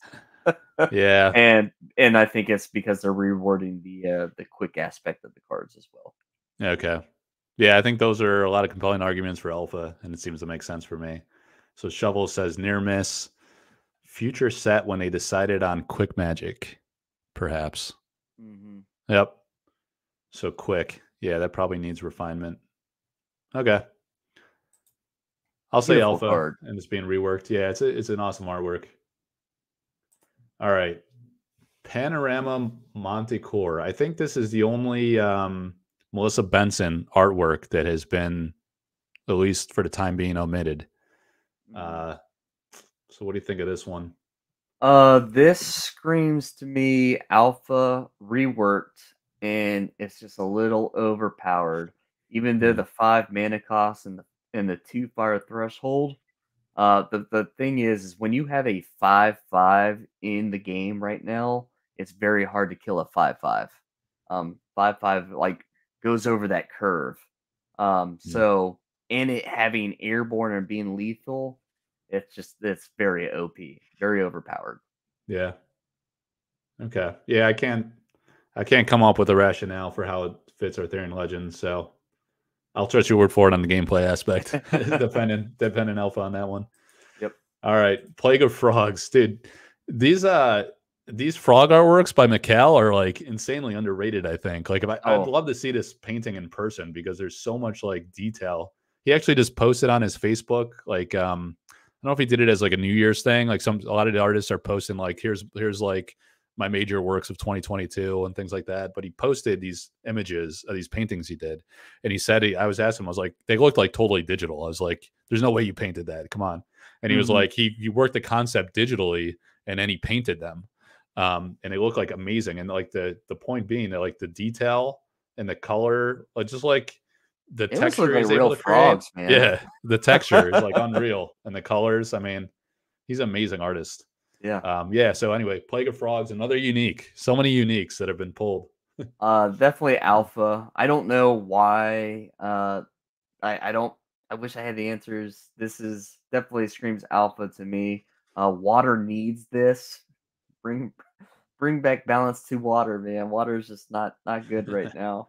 Um, Yeah. and I love playing water, but uh, yeah, it says it's unique. Put a frog token into play on up to seven water sites. So you essentially you could summon seven seven frog tokens. Hmm. I- Is, there a token card with a frog artwork? Yep. Okay. Mm-hmm. Yeah. So it makes total sense for Alpha, I'd say. All right. Polymorph. Polymorph. That's the card I was, was thinking of. yeah. Oh, okay. So yeah, yeah. yeah. So so transform a nearby mortal into a frog token when we're talking about the clansman. Ah, Um, yep. or transform a nearby frog into a prince from your collection. Yeah. So literally it's saying Wow. if you have this card in your collection, the, how I'm reading it, and it's just so flavorful, it's so cool. And you have a prince just lying around in your your trade binder that's with you, you could polymorph and turn it into a prince, which is so cool. Yeah. So, um, I it, this Hmm. screams uh to me, I Ar uh Arthurian legends. Yeah, I think so. Yeah, it's just it's interesting. Like, what are they doing with these royalty? You know, are they is it an alpha thing or is it an Arthurian Legends thing? But I think more broadly than that, like when you look across all the alpha work, I think they're I think they're planting seeds for expansions. Right. You know, like yeah. a lot of that dark work artwork by Brian Smith and um, even Jeff Menges has like a uh, a devil type of um, Mhm. you know that one devil card he has, Pact with the devil. Uh, I think it's called. the devil. Yep. Yeah, I Mhm. think um so there's been a lot of speculation. I think in one of those interviews or it was one of the lives with Erik, that's how you you get him to leak stuff. You know, you try to hit him with a question and hope hope Simon's not keeping him under wraps. But he kind of said that like someone asked a question and he was like, "Oh, you know, like that sounds uh surprisingly um, close to what we've been discussing behind the scenes with yep. themes, right? One was Arthurian Legends, and the other was like either Angels and Demons or Heaven and Hell. And yeah. I think like that's one. You know, these these like royalty that's right. dovetailing right into our Arthurian Legends. So yeah, me and uh me and uh my buddy uh, we play a lot. Uh, Mike Pelly from the Discord channel. Yeah, we, we, yeah, we were talking guy. about it, and uh um you know we're um, we're also thinking like thinking of the the Manticore, right? You know, to uh-huh. me, my mind jumps into like Greek mythology. So I'm thinking, yeah. you know, there's yeah. some Greek, you know, some Greek mythology stuff that might be coming, some Egyptian stuff that might be coming. Um, so mm-hmm. you know, it's all speculation, which which is so cool. I, yeah, I'd love to see like Viking art and stuff like that. I right? think Erik's probably into that, so mm-hmm. I, I, would guess that's probably coming. Um, and you think I think he said like it was either in one of the lives or one of the um, interviews that was done is he likes these like thematic concepts from real life history, and he's surprised people haven't taken more advantage of that. So I think we'll oh, see a lot sure. more. Yeah. But yeah, the artwork here, I like how this guy's got this like little gullet or whatever the hell you call it with the like a frog throat, right? You know, like the frog has. it's pretty funny. Like Francesca is like really creative. I love a lot of her art concepts, mm-hmm. and it's mm-hmm. cool because she's like a cartographer. She does like maps for all types of different games, but right. then she's like amazing at these other like other cards with other um, design concepts. She's just amazingly talented. so, all right, so Arthurian Legends on that one. Yeah, I get down. I'm that's what I'm going with. Oh man, so I saw this one, Drew Tucker, in person. This I went to the, the show, right? Yeah, the IX yeah. Art Show in Reading, Pennsylvania. And if, if anyone lives in the Northeast or you travel, you like to go to all these LGSs, right, man? You got to yeah, find a, a, way to go to IX next year. Um, for sure. Like Drew Tucker's there, I think, like every year. Jeff Menges, both of those guys confirmed for this year as well. Margaret Organ Kean was there. Alan Pollack, Jeff Easley. Um, I'm missing everybody. Anybody? I want to say there was like five sorcery artists, um, and I think like most of them are regulars. They try to go every year, um, so it's awesome. And like none of them had any sorcery stuff this year, so I was like, man, I'm gonna go. I'll buy prints. I'll buy anything they have if it's sorcery related. Right. And they only had like their they only had their magic stuff. Um, so I got a few odd end things. You know, I got some cool play mats from Jeff that he signed. Um, I had him sign like I found this magazine where he had his first ever published artwork in like one of those dungeon or is it Dragon magazine? I want to say. Um, so I brought that. I had him sign that. Super nice guy. But yeah, Drew had this on display, and like in person, this looks un- unbelievable. Um, it's a beautiful artwork. Uh, so anyway, Primordial Spring, an elite site of of primeval uh, bounty Genesis. If you control fewer sites than any opponent, draw three sites. Draw three sites. Damn, that's sick. Yep, there's that. that That's powerful. Remember that that that uh, that aspect of drawing cards, man. Yeah. Um, I just uh, I I I don't see what's wrong with it. I don't know why it needs any kind of reworking. Um, usually you're on the same playing field. Maybe that's why on a land based site base. So gotcha. Maybe maybe they're reworking it or reword it somehow. Um, yeah.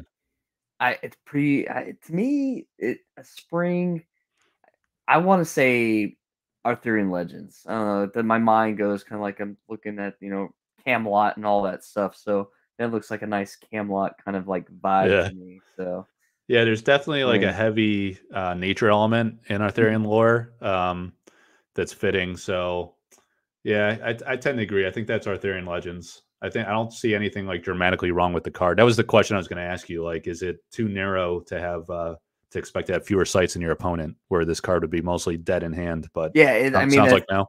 I, no, actually, I think it is like a dead dead in hand oh. card. I mean, because it, mm. like I said, you're you're kind of like on an equal playing field when it comes to sites and lands. So okay, yeah. yeah, okay. So maybe a tweak, but we both think Arthurian Legends. For sure. Yeah, super creative artwork there. Purge oh, Juggernaut. Man, I missed this card. This card was so cool.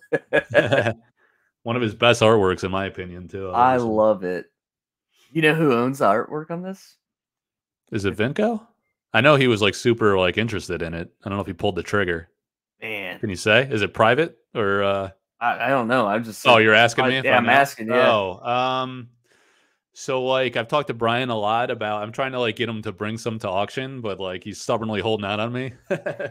um, but like he he wants to wait because he he feels the demand like growing. You know, like some of the artists sold early. I mean, to be an artist, these these most a lot of these artists aren't like wealthy, You know, some of the magic ones, I mean, I don't think they're like super wealthy either. A lot of them sold their alpha magic stuff like right away for pennies because magic was nothing like early on. There's, there's a lot of excitement and buzz like sorcery, but it's not like worth thousands or millions of dollars like the Black Lotus is today. Um, so they sold out, but they kind of learned from that experience and now they're like, yeah, I'm just gonna wait and see, and like I'll sell after release because it's all the, the buzz is only growing. You know, every time Erik leaks a a new foil image or like something from a production line, like the community goes nuts and sample cards start popping off, and Mhm. you know you can just feel feel the vibe and energy. So I think like Brian um, is kind of like slow rolling it. I know he sold a few paintings, but he hasn't sold a lot. Like he's got a lot of them that he's just waiting, um, and he might like start trickling them out or posting them for sale later on. So. I want to say got like he's gotten some offers, but to my knowledge, I don't think he sold this one. Yeah. Well, I guess uh, I guess I'm gonna shoot my offer then if it comes to yeah, man. Yeah, it's nice. Um, there's a, but there's yeah, a go- Juggernaut card in Magic that's pretty similar um, Right, design yep. concept. And I asked him, he, he's he's not a TCG guy. He's never heard of that card. So I think that's pure coincidence. Yeah. No, that So- but uh, just reading the the text on this card and just looking at the artwork, it's just it fits so well. Um, I believe this is gonna be in. Yeah, there you go. Solar Guard. Definitely God, alpha. God, definitely alpha. it screams alpha all day long. Um, Yeah. I think they just have to retweak it just a tad, uh, because it could definitely uh, it will be very time consuming, but um, uh, it's definitely a board clear. So Yep. Yeah, so they could they could go ahead and change that as long as they don't change ceaseless slaughter. there you go. Yeah, that's that's one of those like glorious alliteration type things that is just like perfectly worded. So I love that type line text. But um yeah, so this is one like I, I don't really have an angle on. I mean, obviously it makes no sense for Arthurian Legends. Um, and from your gameplay perspective, I think Alpha makes sense too. hmm All right. Roots. So this roots of uh well, however the hell you say that word. I think Simon bought this painting, you know. Oh, did he? I I think he no said idea. that in Discord at one point.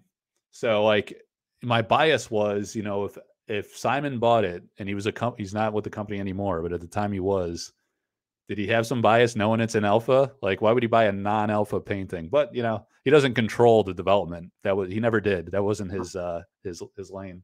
So I don't know. What do you think from like gameplay or thematically how it fits? Uh, I mean, gameplay. I mean, if you read it, adjacent adjacent to all sites for movement. Um, kind of OP. They've got to they've got to retweet that. Um, so it's it's definitely alpha for sure, hundred percent. Yeah. Adjacent to all sites for movement. What does that actually mean? Adjacent to all sites for movement? So does that so your your minions can only move one site unless it's airborne. They could they can move nearby. So movement is a you can, you can move to one one spot or one square on the grid adjacent from your site. This is just saying it's adjacent to all sites. So literally Ah. it could just it can move anywhere. Okay. Yeah. So it gives you more movement flexibility. Mhm. That's Yep. pretty powerful. Yeah. And something, did, did you notice before? Like there's these little people like walking on the roots. No, I didn't. You see that? You pointed it out. Yeah. That's unbelievable. That's what I- like something I noticed. Like I've seen a ton of sample cards at this point, and like there's so much stuff I discovered for the first time, and like not many people look at the artwork as much as I do, and have studied it like for the past year plus. and like I'm still discovering stuff new all the time. Yeah, no, I'm sorry. I was Mm-hmm. looking. I was just reading Shovel's uh Shovel's uh comment right there. Which Mm. there it goes. Yeah, Nordic mythology. That would be Mm. freaking amazing, man. I'm Yeah. all for that. Let's go. That would be sick. yeah, so maybe they're saving it for something like that. But I think like flavor wise and like how the title, game mechanic, and illustration always pair, this one is like super well done because you see these people Mhm. walking among the roots from all Yep. different angles, you know. So that's perfect with that movement type uh right. mechanic. Yeah, so that's pretty sweet. I yeah, I don't know. I think um I think you're right. Let's say uh not alpha. Coming in the future, Arthurian Legends or or the Nordic the So, Nordic uh, mythology Nord- Nordic expansion. mythology. I like that. Let's go. Let's hope so. Okay. That's unofficial, by the way. We're joking. All right. Ruler of Thul, Frank Frazetta. Oh How do you exclude a gosh. Frazetta artwork? How can you? Uh, beautiful, beautiful card. Yeah. Um, this is this is it's it's got to be alpha, hands down. I'm going. It's got to be alpha. It definitely needs to be tweaked. I've seen it played as is, and it's kind of OP. Um, so I think they've got to retweak it. So Ruler of Thul and other allies can move as if the top and bottom edges of the realm were connected, and other allies have plus one power while there. Um, so essentially, if, if people have played with polar bears before, you can move um, from one side of the realm to the other.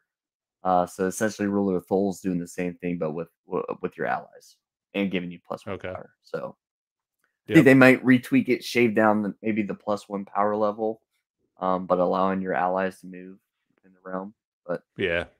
Yeah. Yeah. So Shovels and Solar God are both saying confirmed for Alpha. And I think that's coming from Simon's comments in Discord. yeah, But yeah, and like it makes you wonder their license agreement with Frazetta, obviously not an exclusive since Magic just jacked it, used it for their uh their secret lair or whatever. But um yeah, I don't know what the like the, the licensing terms are on that, like the duration wise. So maybe they need to get into alpha and they don't want to hold why why would you hold why would you like sign a license agreement with them and then delay the art reveal? So I Right. think all it makes perfect sense that all Frazettas are in. It'll be interesting if more come in the future, though. That'd be Mhm. cool to see. All right, Alpha Shield Wall, man. This Oh, is man, uh, beautiful. I, I love Modesti. I don't know what other people think of him as an artist, but all of his are he's got a very very unique style, and I I Yeah. I love it, man. It's Mhm. fantastic. Uh, Arthurian legends, anything like you know, all of this is just screams Arthurian legends to me. Yep. Um, yeah, just uh, let me read the card really quick. And on an opponent's turn, prevent two damage that would be be dealt to allies here. If there are less than two allies here at the end of your turn, uh, dispel Shield of Wall. I don't really see anything wrong with it, um, Yeah. but it's just the artwork, the vibe, uh, screams Arthurian legends. So, Yep.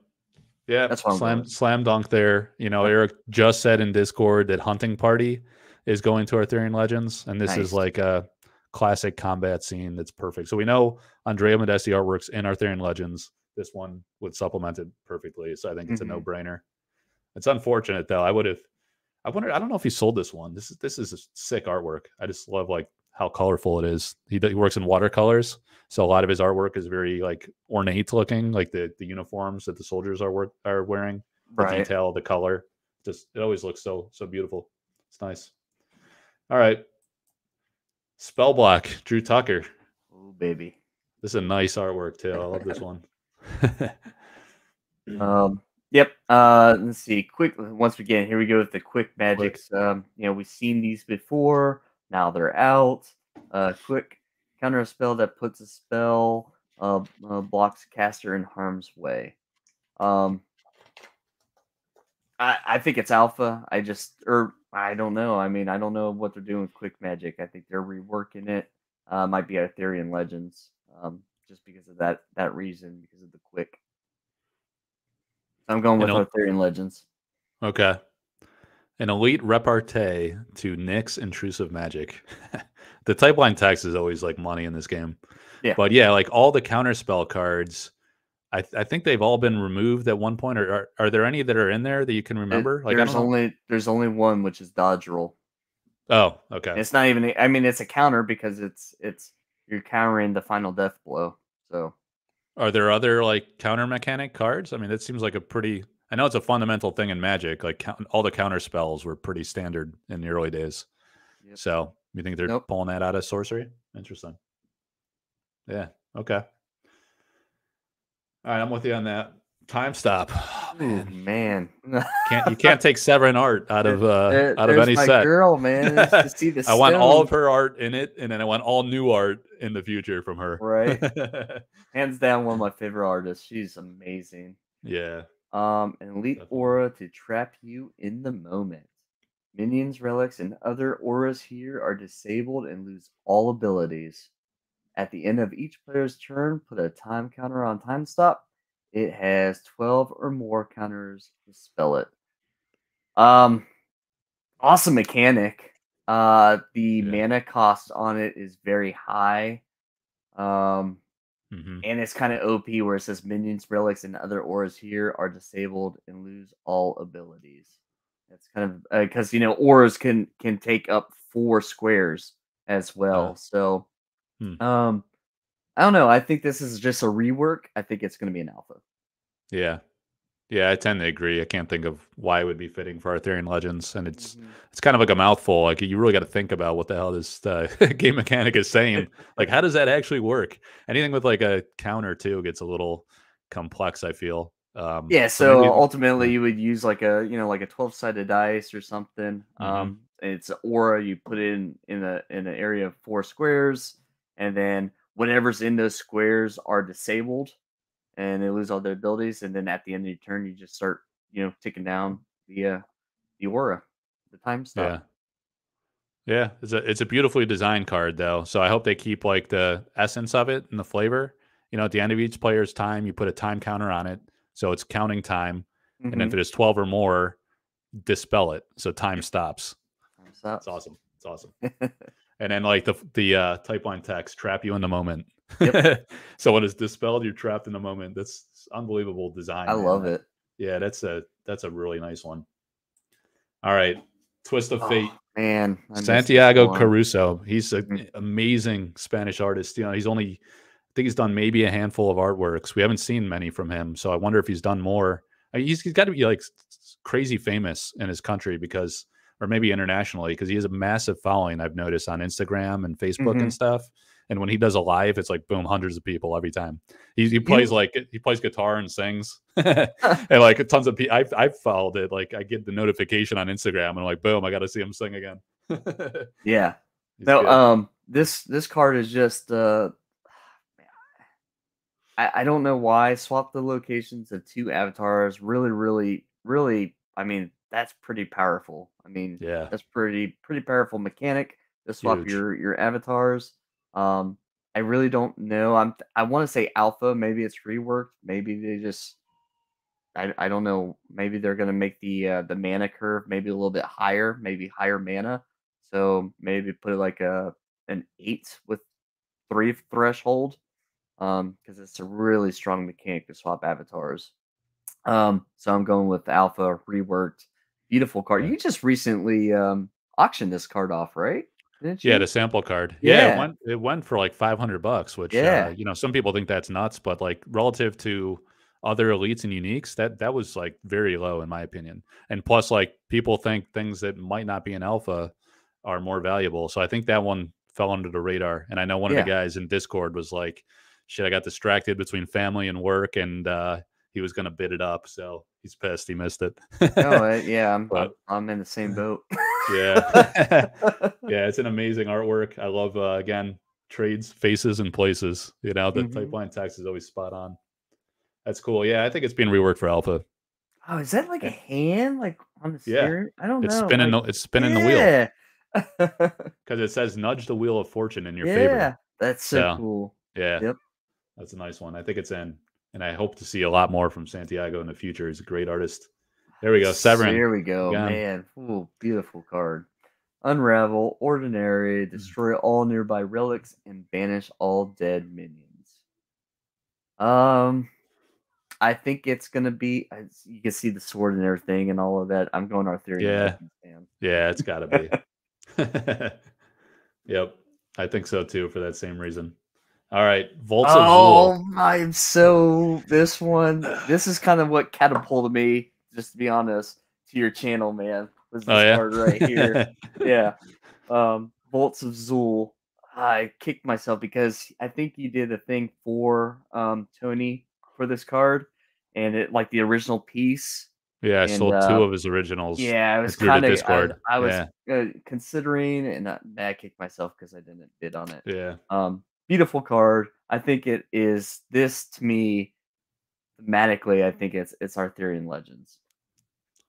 yeah. You know, I've talked to Tony about this one, and he swears that the funny thing about Tony is he'll say one thing, and then next time, sometimes I'll get a different story, or like he, he can't remember, or like so he, he he swears that Eric told him this is an alpha, and then I was trying to confirm because like like you say, like he had this one and um uh what was the Anui Undine? They might have changed the name of it, but it's the one where his daughter's face is in Yep. the wave. I don't know if you knew that's his daughter. I wrote an article about that, but Oh, I. Tony told me the story. But he sold like those two. He was like, "Hey, I need some cash. Like, what do you think? we get these sold? And I was like, yeah, no problem. So I like floated it to the, the patrons, I think, and the Patreon supporters. Yep. And then um, they were bought like immediately, both of them. Um, so they didn't go to auction. I think just because like he was in more of a hurry, he probably would have done much better at auction. But um, mm-hmm. yeah, they sold fast, and uh, like usually I, I, would totally disclose if we thought that it was not an alpha, but I couldn't. I, I don't. I forget if I asked Eric, and maybe I didn't ask. I didn't want to be too forward and say like I didn't want him to like ha- put him in an awkward spot where he had to leak information to me. So I was just like, all right, Tony. Like Tony swears it's an alpha. Told you guys this is what the artist says. Who knows? Sometimes, so like no one knows for certain what's in alpha. I mean, right. so I find it hard to believe that like Eric 100% committed. He probably said something like, I'm going to try to make it work for Alpha. Um, but like Simon would always be very careful to caveat that nothing is final. Even the latest TTS cards are not final. We could pull whatever we want. We could change whatever we want. So, right. Yeah. So we, we just don't know. Like I'm rambling here, but long story short, we don't know for sure. Um, so I thought maybe like since this, the artwork for it came out so late, that um because I think I don't think it's like Tony had just completed it very recently. I think he had done it a while ago. So mm-hmm. I was thinking more that maybe this would be like a that Eric was holding out as a surprise because it's such a sick looking artwork yeah. um for like an alpha packs, or maybe it would be like a promo card that maybe Rudy or someone would reveal, or um like in like a just a I was I was playing with the idea with like maybe he'll just throw a card into the pledge packs that he didn't tell us about, just as kind right. of like a cool reward um, to all the backers. But yeah, so I don't know. Like it's it's, it's elusive. yeah, it's and I'm just reading it, and the, the mechanic of this because remember you've got the card draw. However, yeah, um, you know when it you lose your next turn, so that's just it. Just I, I don't know. But uh, to me, I think it screams Arthurian Legends all day. And I think yeah. there's a, I remember uh, there's a little panda that's hidden in the, in the gold, little panda face. Oh yeah, you're right. So in the um, let's see, do I have the full? I was responding to Solar Guard because he says AL for sure. so he sounds confident in that opinion. I'm wondering why he thinks that. So let me see. Hopefully, I added that to the full art gallery because I want to show what you just said. Um, this one came out kind of late, so I might have gotten behind in adding. Yeah, so here's Tony's artworks mm-hmm. starting here. Oh, I got to go add that in. I know he sent that. I mean, obviously, I sold the painting, so I had an image of it. Ooh, actual, hopefully I didn't spoil something for you. Sorry, man. no, not for, no. I knew it was in there, but like you might have spoiled it for people uh, on the um, on the live here. My bad, yeah. my bad, guys. yeah, so we were talking earlier how like Tony likes to hide Easter eggs in all his paintings. So what he's talking about here is under this text box somewhere in here. You guys can go figure it out when you see when you get the foil card and you have the full art on the back. If it's an alpha, um, there's a panda bear hidden. so that's pretty cool. And I think there was, I think he told me like, oh, and that's not all. There's other stuff hidden. So make sure you're looking close. That's what he wants hmm. people to do. Um, but yeah, his his uh, ability to kind of just the finish quality, like these rocks look so realistic. Um, just an amazing artist. Yep. He was um I talked about this in in some other videos, but like Tony did some did a lot of magic stuff early on, like some of the earlier sets. Not like Alpha, I don't think, but he was at um he worked for TSR um with back in like I don't know, must have been 70s or 80s, let's say, with Alan Pollack and Jeff Easley. And those guys were doing like D and D stuff, I think. And then um they all they all did magic stuff too eventually but then he like stopped doing art commissions for like 15 years and i think he just returned for sorcery um and he was like a prison guard or something you know oh, so wow. he like completely walked away from it and uh the reason i know that is i was talking with him i've talked to him a few times on the phone and like a lot over like facebook messenger and stuff and he he sent me like on messenger um like a one of his old magic cards, one I hadn't seen before, and then like one of his newer sorcery cards. And he's like, "What do you think of this this magic card?" And I didn't know it was from Magic. Um, and I was like, "It looks awesome." He's like, "Well, what do you think like compared to like what I've done recently?" And I was like, it looks like you never stopped. And he's like, that's what I was hoping for. you know, nice. he was worried that his like skills had atrophied after like a 15 year hiatus. So I'm sure he was probably like sketching and doodling and stuff. Like he didn't go cold turkey, but he hadn't done any like full up commissions for like 15 years. which Right. is wild. Um, because like, yeah, he definitely did not miss a step, man. Like his talent's like unreal. All his all his artworks are unbelievable in this game. All right, Withering Hero. so you, you remember? Uh, do you remember in Discord when there was like a different artwork version of this? Mhm. Yeah. So that one we think might have been scrapped or it could be introduced as an alternate art, but we thought this was the one for alpha, you know, so it's not in there. You think it's you think it's gonna be in there? I uh, I think I do. I think it's gonna be in there. Yeah, this Uh, I'm gonna say I I'm gonna say there's a chance here that it's not in alpha and it's also not in Arthurian Legends, and it's in that Ooh. Angels and Demons set that we think is coming, or Light There and Darkness, go. whatever the hell it is, because it's an angel. But for that same reason, it could be an alpha to plant the seed for that set, just like we have a lot of devilish like cards, you know. Right. Um, so Mhm. you need to like plant the roots of that in alpha, so then you have synergistic expansibility in those future um, expansion sets. So I will say in alpha for that reason. I don't think Eric will have the discipline to hold it for like two more future sets, which could be two years away. Right. so I'm saying in in alpha. Okay. Ben I'm, I'm going says, with uh, you. Ben says uh, Curio card has alt art. So yeah, I mean, is it a Curio that there was a different? I, that could come up a few times because, like I said earlier, you know, some of these artists did paintings that they don't know, haven't seen a- at all yet in card form, and there's only about 35 yard, 35 cards or so that haven't been revealed, and we might be looking at like a subset of it in this list of 32 to 33 cards. So Mhm. um, yeah, so maybe those some of those are alt arts, maybe some are curios, and maybe some are just Arthurian legends. You know, that's the fun of it. We don't know. It's gonna be fun when we find out. Okay, Oh yes. Yokai from Gadu. Yeah, I actually got his print. Um, That's Yeah. right. Yeah. yeah. of this So- one specifically, right? Um, yeah, the cap eyes. Yeah, the cap Yeah. eyes. Yep. Nice. I remember Um, reveal. Yeah, so uh Elite Demons, uh this thing it's it's gonna be an alpha. Um for Yeah. sure, hundred percent. Uh once on your turn you may discard a water site to flood the site and untap yokai tapas. Uh I think this just needs a little rework. I think it's gonna be in Arthur- Arthurian Legends. Um it, it- it's went through so many different iterations because I or I don't know if you remember you had um uh oh leather something was a me- key, key mechanic in the game and and now it's gone uh, iron skin uh, it Oh, was yeah. iron skin that's what it was Yep. Yep. Okay. Um. So you what do you say? You think it's Arthurian legends or alpha? no no i think it's alpha it's gonna it'll be Oh. alpha it just needs it needs to be reworked retweaked Okay. What about um? So are there a lot of demons in alpha? um i don't think there is actually i think there might be Hmm. that's a good question i don't know i don't think there is a lot of demons to be to be honest Okay. you. Yeah, I wonder if they're playing with uh, pulling nose, or again, if that's going to be something that needs to be in there to plant the the seeds for a future Mhm. expansion. Yeah. So, all right, yeah, I don't, I don't have a strong opinion. I can't, I don't know why you'd have a card like this in Arthurian Legends. So I'll say Alpha. Right. It just seems like too, uh, yeah, too out of bed with uh, Thur- Arthurian lore, unless there's something I don't know. I'm not an expert on it, so who knows? But I say Alpha. All right. Um, I think this is the last one. Um, the airship, Marta Molina. You want me to read it? Let's see. yeah go ahead All right. Any player may tap an ally here. Airship airship flies to a site up to three steps away, carrying that ally and any other allies here. Can't be picked up. It's okay kinda, it seems a little complicated to me. Yeah, any player may tap an ally here.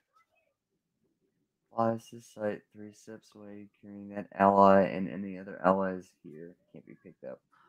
Yeah, I don't I don't know. Um I mean the mechanic it's it's both players get to utilize this card. Um Oh, five demons in alpha right now. Let's go. Yeah. Um interesting. uh, it it's a uh, airship, so it's a it's a vehicle. So I, I think it's gonna be an alpha. I just uh, I don't know. Maybe they're gonna rework it because both players could utilize it. Um, yeah, this, this I, don't- I don't have the answer. I wish I did, but uh, I think it's gonna be an alpha. Alpha. Yeah. Yeah. I, I don't, uh, I don't envision um, soldiers flying in on airships in Arthurian legends. So I'll say alpha. It's pretty pretty. I love this artwork, man. It's, Oh. it's like a, it's a lot different than um some of Marta's other pieces. Just like the Mm-hmm. night sky, she want she wanted to do an embellished print with me on this one, and I That'd be was cool. like, yeah, I was like, that's a sick art. Like she was really into it. She was like, let's either do like a alternate art of it, like she just did for Pristine Paradise, or an embellished print. And I was like, well, let's do um the Pristine Paradise we did first. And I was like, let's just wait and see if it's an alpha or not. You know, that might make a difference to people. that alt art on the paradise was oh Yeah. my gosh, that thing was beautiful, man. yeah, Mm. really nice. Maybe she'll do some prints of those.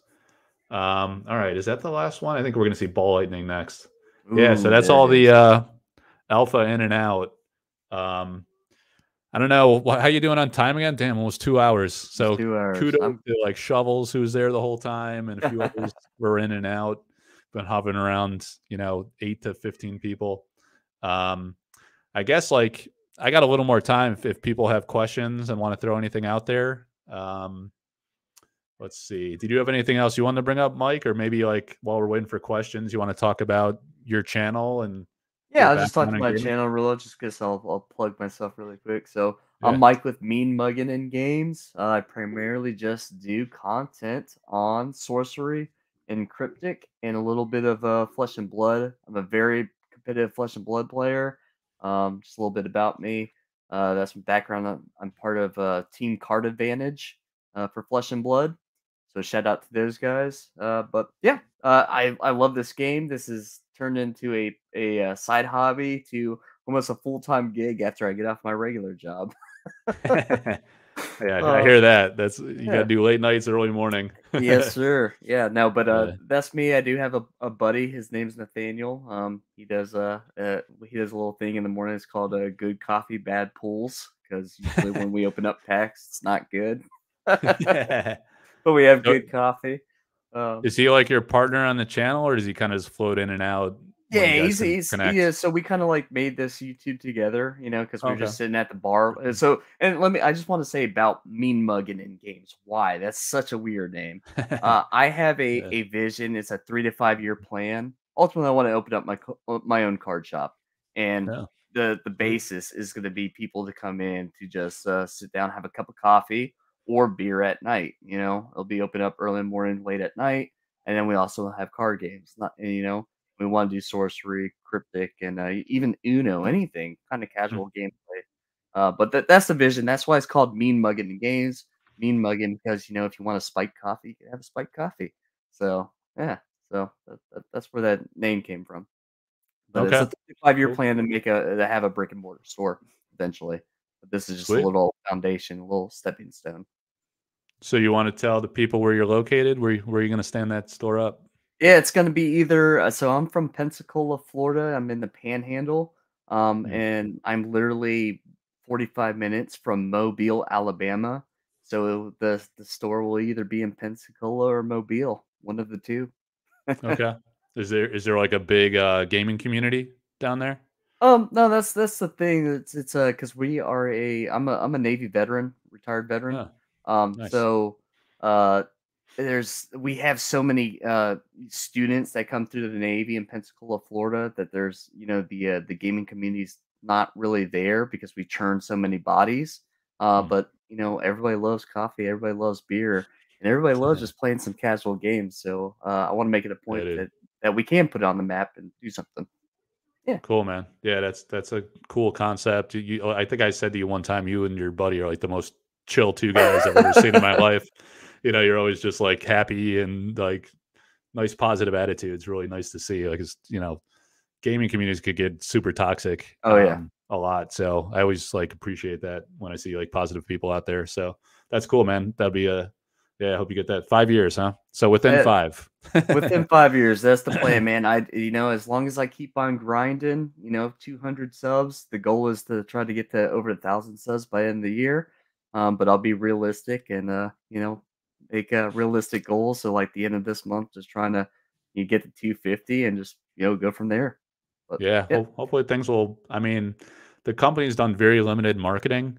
That's an interesting talking point because I like I I used to talk to Eric and Simon all the time and be like, you guys got to like step on the gas after that Kickstarter debut. You know, like don't let the. I was worried about like an attrition of momentum Mhm. um, by the time because it's been like it's going to be a, probably like a full year almost um, from the Kickstarter when it finally gets fulfilled. Um, so, but their philosophy was like I was talking to Simon about this one time, and um, he was saying like anytime they would put out information or do like an event or something, they would just get completely slammed with inquiries about where can I buy this product, like what, like when am I going to get it, blah blah blah, like a million questions, right? And people were relentless, and it Yeah. became like overwhelming, and I think it just became a distraction. Um, so their philosophy is since there's nothing to sell right now, they didn't want to like really invest a lot of time and energy in marketing just yet. But I think we're going to see that really escalate and ramp um, as we lead up to fulfillment in the next couple of months, and then beyond, obviously, to try to they want to they got to grow the market for beta, you Yeah. know, and take a step forward. So we'll see some of that. I'm going to be doing um, like a I did a written I did a lot of written Q and A interviews with the artists, so I did that with Eric too. Um, spoiler alert! So I got to work on that and write that up, and um, probably host that on my website, and he'll help get the word out on it. And then um, the plan was I was talking with Simon before he departed, is trying to do some interviews like like uh, YouTube style like this with some of the members of the team. So hopefully that'll be coming Oh, too be- as part of part of their marketing efforts. You know. That that would be really really cool. I love to Yeah. see the insights uh, on on the on the team. Um, you know, Yeah. and that's like like me. You know, like you said earlier. You know, I travel. I play. I, you know, I play a lot of games, man, and I'll, I'll put some miles to go to uh, these events. And um, I went to event. Uh, I think it was like last month in um, South Carolina, Charlotte, Charlotte, South Carolina. Um, and it was a cryptic event, but uh, I had a mission, man, and that mission was to meet George, and I, I know George personally, and to show him the game of sorcery because he was on the fence of it. And Yeah. um, you know, I I took the print and play files and I went out there and um, you know, went to a cryptic event, played in the cryptic event, had a fun time with that event. But uh, my sole purpose was to show him sorcery, and uh, I think he liked the game. And um, so yeah, you know, just going to to people seeing the game. I mean, that's that's what I do. I go to these events. I see if it's cool, if it's all right, if I could play this game.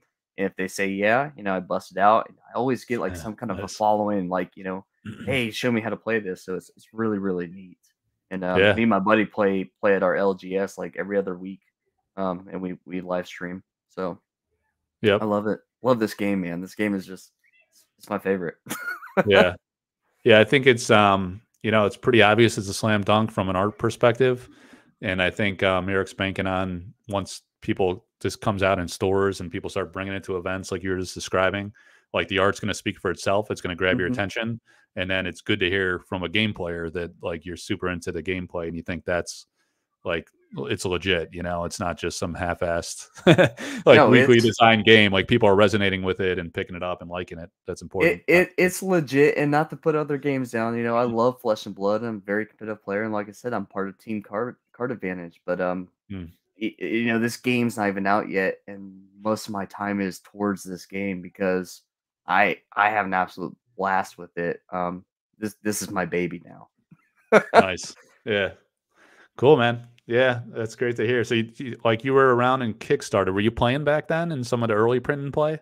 Oh yeah, Um, all all the way from the very beginning. Mhm. Okay, so that was my lead in to ask you, what can you tell us about development um, evolution from like what, what was that nine, ten months ago compared to like the state it's in now? the state it's in now, and that goes back to that community aspect of why I really enjoy this because everything way back then was you know OP, and then they get that we're they're getting the commentary from the players, and um, now I think we've got a really I think we've dialed it in. I think there might be a little tweaks that we could do here and there, but what is out on version 0.8 is pretty fine tuned. I think the gameplay is is very good, and um, it's only going to get better, man. It's Yeah. I think it's a slam dunk. Awesome. So we got a question. We'll take a few questions before we call it. If you've got a few more minutes. so Solar Guide says, "What are your thoughts on keeping products sealed or crack everything?" what? So what? You answer first from a game player perspective. Are you a collector or slash investor as well, or I I'm Just a uh, I'm- player. I, I'm horribly, uh, unfortunately, I'm all three. okay. So investor, you know, collector and player. Um, hmm I'm to be honest with you, I, I I've contemplated about keeping a case sealed, but I'm not. I'm cracking everything. I'm searching for those curios cards, um, and I'm trying to make sure that I have a set to play with because, uh, uh, you know, even though beta's around the corner, um, I don't know. I, I I'm I'm gonna open up everything. That's just me. Yeah. Yeah. So, you know, the investors think sealed product um, is probably your best. It's like um, your best bet that, that lasts the test of time because you don't know early, especially early on, you don't know what the big hit cards are. So you might sell them prematurely. You might open a box pack case and get a bunch of junk that's not worth anything um, versus like a sealed product box. Just the unknown of the chase that could be inside uh, will carry value as things become more scarce over time. So that's the investor mentality. I think, but like in sorcery, I think there's like an incredible amount of chase that really is very innovative and exceeds other games um, from a few perspectives. Like you have 400 cards, which is insane. Like I think I want to say Magic Alpha might have been in the 280s or something. Maybe it was 300 something, but 400 is massive for Yeah. one. So like to to compile a complete set is going to be very difficult. And on top of that, like a foil of every single card and the pull rates on those foils make those extremely difficult to acquire. So I think there's going to be like a pretty healthy market of people trying to buy, sell, trade those. So these are these are all like arguments for opening, I think. Oh, yeah. Because I think like there's going to be a healthy trade market certainly to, for people trying to to complete sets, um, buy buying and selling because again the complete sets like you can't possibly pull them all in packs. But then on top of that, there's a whole nother level of chase in the curio cards, which I Mhm. think like people never talk about the curio cards for some reason, and maybe it's just because we don't know what they are. But it's such- I think I talked about this in like my last video or two. I don't know. Like it it takes you back to the early 90s where you couldn't go on the internet and find a complete deck list. Like we don't know what these curios are and they're not going to tell us before release. So the only way you can find out is through the pack opening experience. And then or like people will do openings, you know, it'll become public or they'll start posting them in Discord and stuff, right? So we'll discover them, but it's only going to happen through pack opening. So I think that's going to be like super exciting. And I am speculating that the curios might be even more rare than the foils. Um, they might be like very rare inserts, and we don't know how many of them, nor what they are, and um, what the pull rates are. So I think like that that's going to create like a chase, like a frenzy of like people it's going to be irresistible to open and try to f- discover those. So um my vote is like open most and and like the the reality is most um upstart games fail eventually or their value trails off. So I think it's like more risky to keep everything sealed and expect to hit a home run than to just like open and participate in the market or play the game, you know, if you're not like an investor or collector.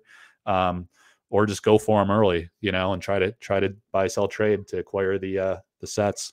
So I think opening, yeah, is going to be a big deal. There's going to be a lot of people cracking.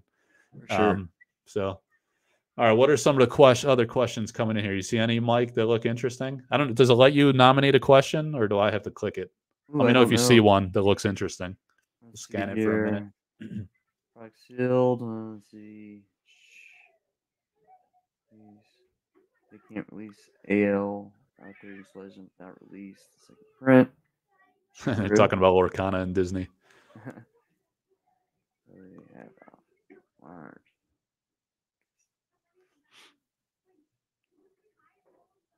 Someone, people are asking about Simon conspiracy theories. We don't know anything about oh, this Simon situation. He left. Another guy came in. That's that's the extent of what we know. Erik said he's in high demand, so I assume he got another another opportunity.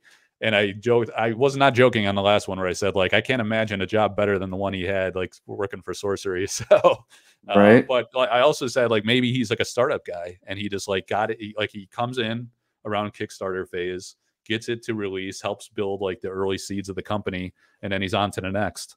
You know, I could I could see that because I know he I've talked to him privately, you know, a few times. Um, and he's, he's he's very professional. He doesn't like overstep and tell me anything proprietary or overly sensitive. But um, I know he had like a lot of industry connections and a lot of experience which gave me the sense that maybe he's a startup guy that like has worked on a lot of projects, got them launched, and then he goes and consults with the next one. Um, that's my speculation. So maybe he's like going to go help some other project, or but it could be anything. Maybe he had personal reasons, health reasons, himself, family member. Who the hell knows? We know nothing. Yeah. Um, but so it's not even worth speculating, in my opinion. But uh, I know he like he was doing a lot behind the scenes. Um, so there's it's someone's got to pick up that slack and uh community like the discord's kind of like the wild wild west these days the official discord so it could use some moderation and maybe doing some someone doing some community management but it's not like people are being vicious or it's out of control though it's just like conversation goes on wild tangents outside of sorcery sometimes it seems Yep. so, No, and uh, you know, just um, my my two cents on is is I have no idea, and um, it Yeah. seemed to be you know a good you know a good separation. They were both uh, professional, and um, yeah, I wish him the best, and you know I'm gonna carry on, and and uh, yeah, it was good to have you, Simon, and yeah. We're getting some gameplay questions. So these are, I'm- want to know what you would say as well. It's up your alley. so we could both answer this one in different ways, probably, but your perspective would be different as a player. Do you think Mhm. it's uh, good enough to stand the test of time? Let's, let's just say test of time means this game is still around in five years. In five years i okay and and like i said this is my baby and i don't want to disrespect the game but i'm gonna be real. Um i think it will survive the test of no, five years. Um 400 cards is a huge set so there's a lot of cards to be played with. Uh my only concern is even though it's a one one one set release a year that it that's my problem i Hmm. think there has to be a supplemental set at least one one supplemental set Per year? Okay. per year Yeah, so it's kind of interesting. Like, I think, and I could totally see that changing. You know, um, I- I think Erik realizes that's very experimental and uh, counter to like. I think he said this. You know, that's not. Yeah, he fully understands that's not how any other TCG operates. They do it quarterly or even more sometimes. Um, so I think that is something they will address in some way. I'm wondering if it's because the team is like really tiny right now. I don't think they could possibly uh, execute faster than that until they grow the team. But Right. this first year is going to be an anomaly as well because you're getting alpha release. Let's call it March, you know, and say it's going to mm-hmm. be the end of first quarter. And then they've said they're shooting for like eight to 10 weeks later, maybe you get beta. So that's like your next step of like presumably largely reprinting alpha so you can reach a larger market. And, you know, if alpha prices on a secondary market start going up, people can access it affordably. So that's going to completely mitigate that situation. And then I believe they said they're trying to fit in Arthurian Legends within this year. So for the like us early adopters, we've been waiting since we were born for this game. You know, it feels like a lifetime.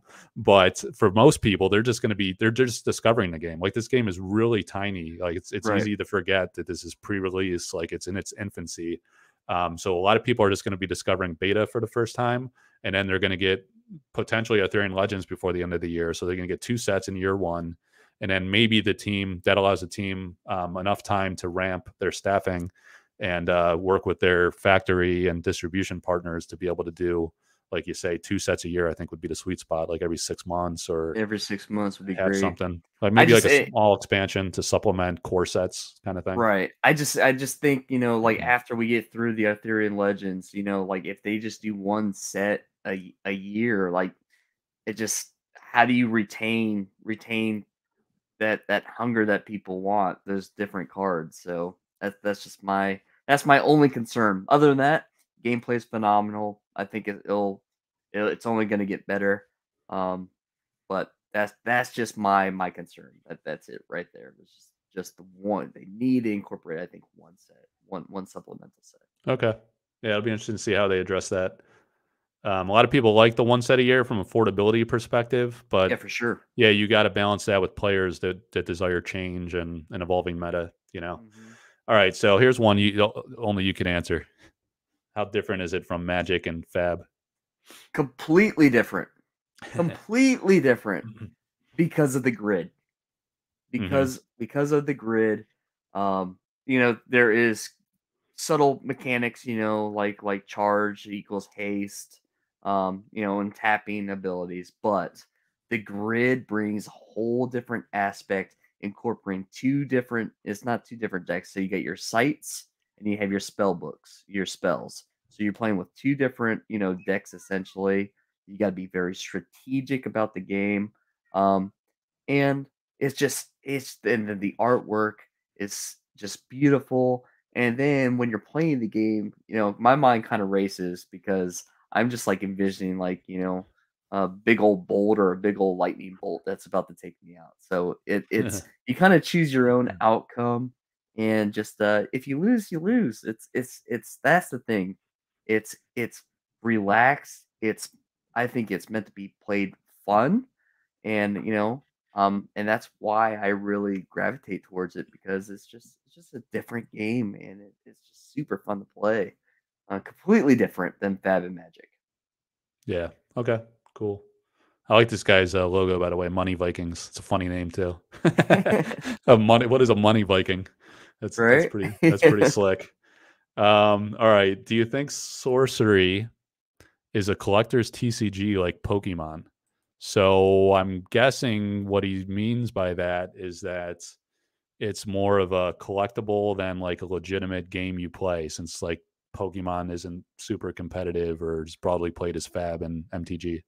No, I um I, I think it hits it I think it hits both both worlds. I think collective collector's aspect, of course, hundred percent, boom. But I think player aspect as well. It's gonna hit that once people play the game and find out how how fun it is. And this this game can be an organized play game, hands down, easily can be done. You could have organized play. Um, so I, I I honestly think it's gonna hit. I think it's better than Pokemon because it's gonna hit both both aspects. It's gonna hit player base and it's gonna hit collector base. Yep.